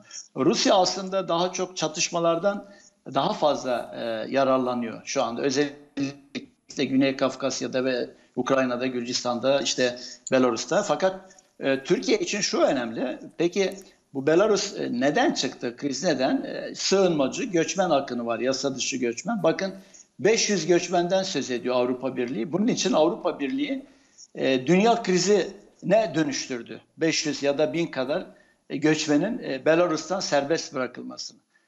Türkiye Türkiye 5 milyondan fazla göçmen kabul etmiş. Türkiye'nin kabul ettiği göçmeni Avrupa Birliği göz ardı ediyor. Sanki Türkiye'de göçmen yokmuş gibi.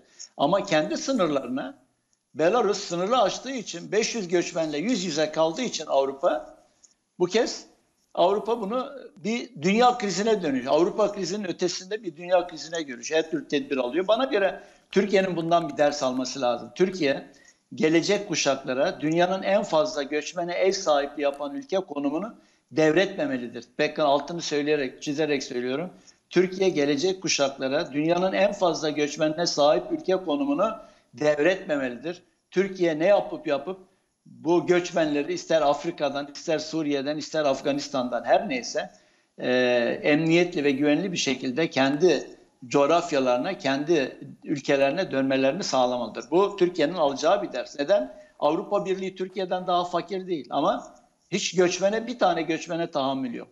E, fakat bu kriz kime yarar sağlar? Bu Belarus'la Avrupa arasındaki kriz.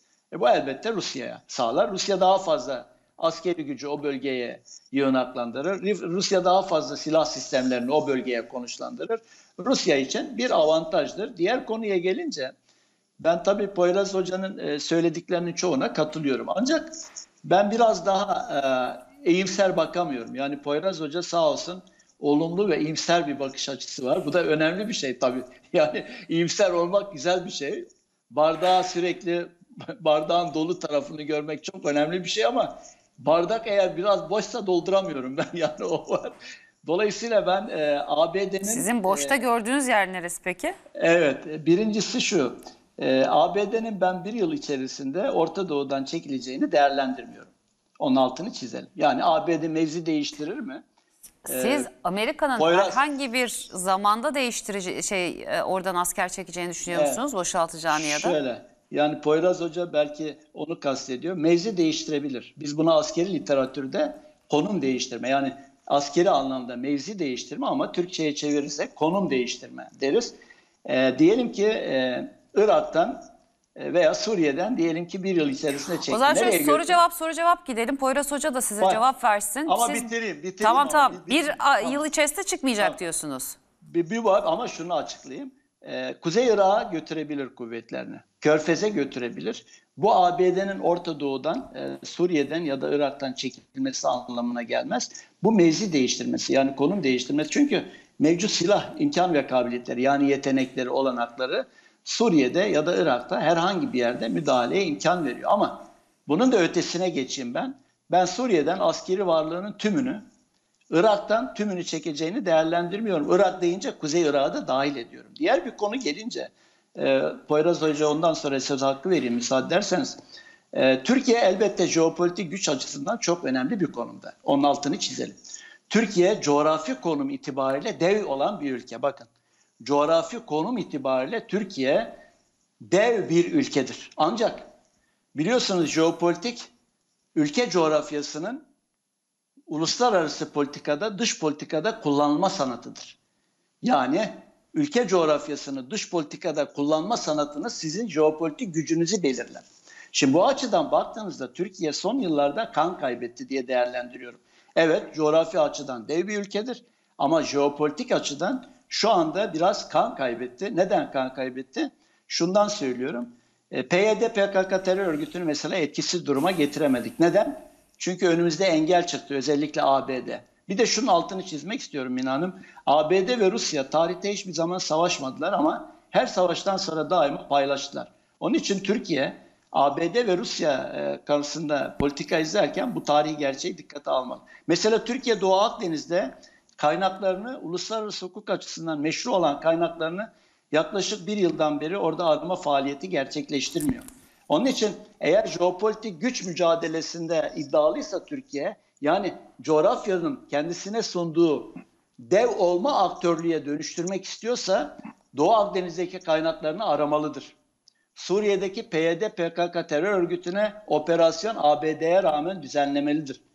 3 3 Ege'de Ege'de Yunanistan'ın kabul edilemez, uluslararası hukuka aykırı olarak kabul edilemez hasmane adımlarını durdurmalıdır. Bunun için en az Kardak krizinde olduğu gibi bir silahlandırdığı ve askerleştirdiği yani anlaşmalar, uluslararası anlaşmalara Paris ve Lozan Barış Antlaşması aykırı olarak adım attığı adalarda Türkiye Türk bayrağını dalgalandırmalıdır. Bunu yaparsa, bunu yaparsa ben o zaman Poyraz Hoca'nın o jeopolitik güç açısından tamamen katılıyorum. Ama coğrafi açıdan bir dev fakat coğrafi jeopolitik güç açısından şu anda e, o adımları atarsa ancak olur.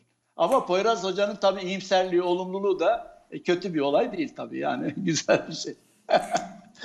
Biraz romantik bakıyor dedi galiba size Yok, Poyraz Hocam. estağfurullah, Estağfurullah yok değil değil. Ben Poyraz Valla Hoca'yı Genelkurmay'da severim, da bir şey Genelkurmay'da da öyle bakılmıştı bana. Ben de onlara şey espri yapıyordum. Komutanıma da aynı espri yapıp ya biz savaştık siz ciddisiniz diyordum. Siz pesimistsiniz biz pozitifiz diyordum. Biz savaştık. Yani şimdi neticesinde benim e, gülmemem gibi bir şey söz konusu olamaz. Ben konumu görüyorum. Bir de bu mevzi değiştirme değil, konuşlanma değişikliği bizi etkileyecek, etki üretecek bir noktada olmayacak. Bir yıl sonra Afganistan'dan kaçtığı gibi orada da lastiklere tutunan PYD'nin adamlarıyla kaçacak demiyorum.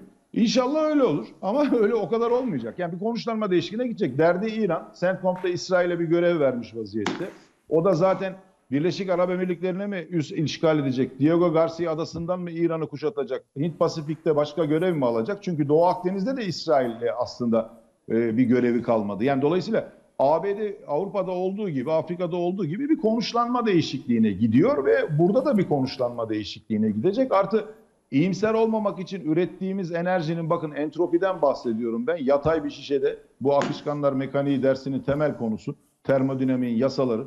Ürettiği enerjiyle şimdi yatay bir şişe gibi ucunda tıpayla Birleşik Arap Emirlikleri'nin gelişiyle bu tıpayı attı. Bu ABD'nin politika değişikliğine işaret eder. Bir de şimdi siz diş macununu sıktığınızda bir dışarıya bir şey çıkartıyorsunuz ve onu içeri sokamıyorsunuz. Şimdi Türkiye'nin durumu bu. Hani Rusya nasıl sıcak denizlere indi diye. Buna da egzerci diyoruz. Şimdi bakın burada Türkiye'nin iyimser olmayacağı hiçbir pozisyon yok. Artı bundan sonra ürettiği enerjiyle o da kendi ilgi ve etki alanları değişeceği için Ruslarla da stratejik menfaatleri örtüşeceği için burada köpek balığı çevikliğiyle bir şeyler yapması gerekiyor. Onları ben aktarmaya gayret ediyorum. Çünkü Dağlık Karabağ Savaşı'nın sonucu Yunan'ı ürküttü. Yani şimdi vatan toprakları kurtuldu. E Mavi Vatan şimdi Libya'daki varlığımız. Şimdi Türkiye orada çok özel operasyonlara imza atıyor. Bakın gidiyor Bingazi'den e, kendi yurttaşlarını kurtarıyor. Bu e, diğer ülkelere de örnek teşkil edebilecek e, istihbarat ve harekat faaliyetleri. Yani ben buradayım, kalıcıyım. Libya'da ben her halükarda olacağım mesajları veriyor bütün dünyaya. Yani burada bulunduğu müddetçe bakın Cezayir'i, Fas'ı yüreklendirmesi, bundan sonra MENA'daki ülkelerin buraya bakışı bunların hepsi iyimser olmamak için hiçbir sebep yok. Sadece dış politikanın bakın e, Naim Babiroğlu Paşam'a katılıyorum. İktisadi gerekçeleri de var. Şimdi e, bunu yapabilmek için gerçekten işte e, çok güçlü olmamız lazım ama kendisi de biraz önce ifade etti.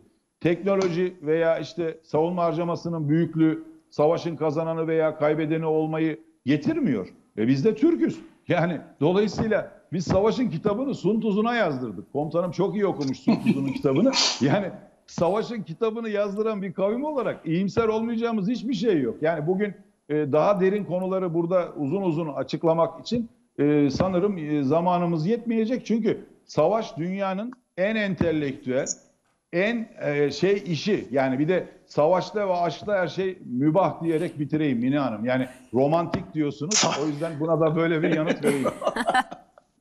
Ne diyorsunuz Savaş, evet, Naim Hocam? sa- Mi- Mina Hanım savaş gerçekten sanatların zirvesidir. Bir kere onun altını çizelim. Savaş bir sanat yani. O da bu sanatı da en iyi, dünya savaş tarihinde en iyi Başkomutan Mustafa Kemal Atatürk yaptı. Yani Sezar'dan, Büyük İskender'den ve Napolyon'dan daha önde. Dolayısıyla Mustafa Kemal Atatürk şöyle der. Ben askerliğin sanatkarlığını daha çok severim der. Yani savaşın sanat yönünü. Onun için savaş bir sanattır ve sanatların gerçekten zirvesidir. Ama diğer aşk konusuna gelince bilemiyorum. Onu o Poyraz Hoca'nın kendi? Şimdi Valla o diğer konuya girersek gelince- çıkamayacağız zaten. çıkamayacağız. Diğer konuya gelince iyimser olma konusunda ben destekliyorum. Çünkü olumlu olmak insanın moral motivasyonunu yükseltir. E, mutluluk e, kat Bu arada e, genel e, Hulusi Akar şu anda Suriye sınırında e, askerleri ne- denetliyormuş. e, duygusallık ve hamaset pek işe yaramadı. Ben ben evet Evet sesim geliyor mu Mina Hanım? E, evet Sesim bir ara mu? bir dondu şimdi geliyor. E, Hulusi Tamam. Akar'ın bu arada e, Geliyor, tamam. görüntüler Son- yeni geldi. Onu da Evet. e, isterseniz Suriye ile ilgili son değerlendirmelerinizle birlikte toparlayıp e, kapatalım bu bölümü. Tabii. Tabii tabii hemen kapatıyor. Ben şunu istiyorum bir yurttaş olarak. Bir, Doğu Akdeniz'de bir kere e, gemilerimiz arama, tarama, sismik, sondaj gemilerimizin orada olması lazım. Hı hı. Buna ara vermemizin bir anlamı yok. Bu jeopolitik gücümüzün bir ispatı. İki, Yunanistan'ın herkesin bildiği uluslararası hukuka aykırı adımları karşısında bizim misliyle karşılık vermemiz lazım. Biraz önce Kardak krizi örneğini verdim. Evet. Üç, coğrafi bütünlüğümüze kasteden PYD PKK terör örgütüne bizim onu etkisiz duruma getirecek hareket etmemiz lazım. Diplomasi yetmedi. ABD ikna olmuyor. Elması da mümkün değil. Çünkü onu destekliyor. Onun bir projesi İsrail'le beraber. Onun için eğer bu üç konuda gerçekten Türkiye adım atarsa 1974 Kıbrıs Barış Harekatı'nda atılan adım gibi ben illa savaş yapılsın demiyorum ama buna benzer adım atarsa ben o zaman e, Poyraz hocamın hem coğrafi açıdan dev olan ülkenin jeopolitik güç açısından da dev olduğunu söylüyorum. Bir bu. ikincisi bu. Suriye'ye gelince Suriye'de bizim e, gittikçe artan bir problemimiz var. Suriye'de üç tane stratejik sorunumuz var Mina Hanım. Birinci sorunumuz şu, Türkiye çözmeli ve gelecek kuşaklara devretmemeli. Umuyorum çözecektir. Bir, e, Suriye sınırı adeta terör üreten bir coğrafyaya dönüştü. Türkiye bunu e, uzun yıllar tahammül edemez. 1984'ten beri bölücü terörle mücadele eden Türkiye'nin kaybettiği enerjiyi biliyoruz. Şimdi PKK terör örgütünü etkisiz duruma getirirken bu sefer 9-11 kilometrelik sınırda bir terör üreten coğrafya çıktı. Bunu sayamayız. İkincisi Hocam bir ikincisi cümleyle Türkiye, tamamlarsak dünya- bir cümlede Tabii, Poyraz Hoca'ya söz bitiriyorum. vereyim. Tabii. Türkiye dünyanın en fazla göçmenine ev sahibi yapan ülke konumunda. Türkiye bu konumdan kurtulmadı. Bunu ülkelerle işbirliği yaparak. Üçüncüsü Türkiye 130 kilometre sınırı olan İdlib var. İdlib e, Afganistan'da olan bütün terör örgütlerini barındırıyor. E, neredeyse küçük Afganistan'a dönüşmüş. Türkiye bu tehditle bertaraf edecek adımlar atmalı. Bu Suriye açısından önemli. Peki bir cümle sizden alayım Poyraz Hocam öyle de tamamlayalım. Sayın Milli Savunma Bakanımızın o bölgede vereceği açıklamalar son derece önemli. Bir harekat hazırlığı gibi görüyorum ben orada çünkü incelemelerini, denetlemelerini. Dolayısıyla ben e, çok e, istisnai başarılara imza atan gerek TSK gerek MİT personelini burada alnından öpüyorum. Ben iyimser olmamak için hiçbir sebep görmüyorum. Neticesinde PYD'nin sonsuza kadar orada varlığını devam ettireceğine de inanmıyorum. Şeye katılıyorum yalnız Naim Babiroğlu Paşa'mın bu mülteci meselesi gerçekten Türkiye'nin e, bir güvenlik sorunu haline gelmeye başladı Mine. Teşekkürler. Ben teşekkür ediyorum her ikinize de. Biraz böyle olumlu bir bakış açısıyla da kapatmış olduk e, güne bakışta ve haftayı. Keyifli, güzel, sağlıklı, kazançlı bir hafta sonu diliyorum herkese. Görüşmek üzere yeniden. Hoşçakalın.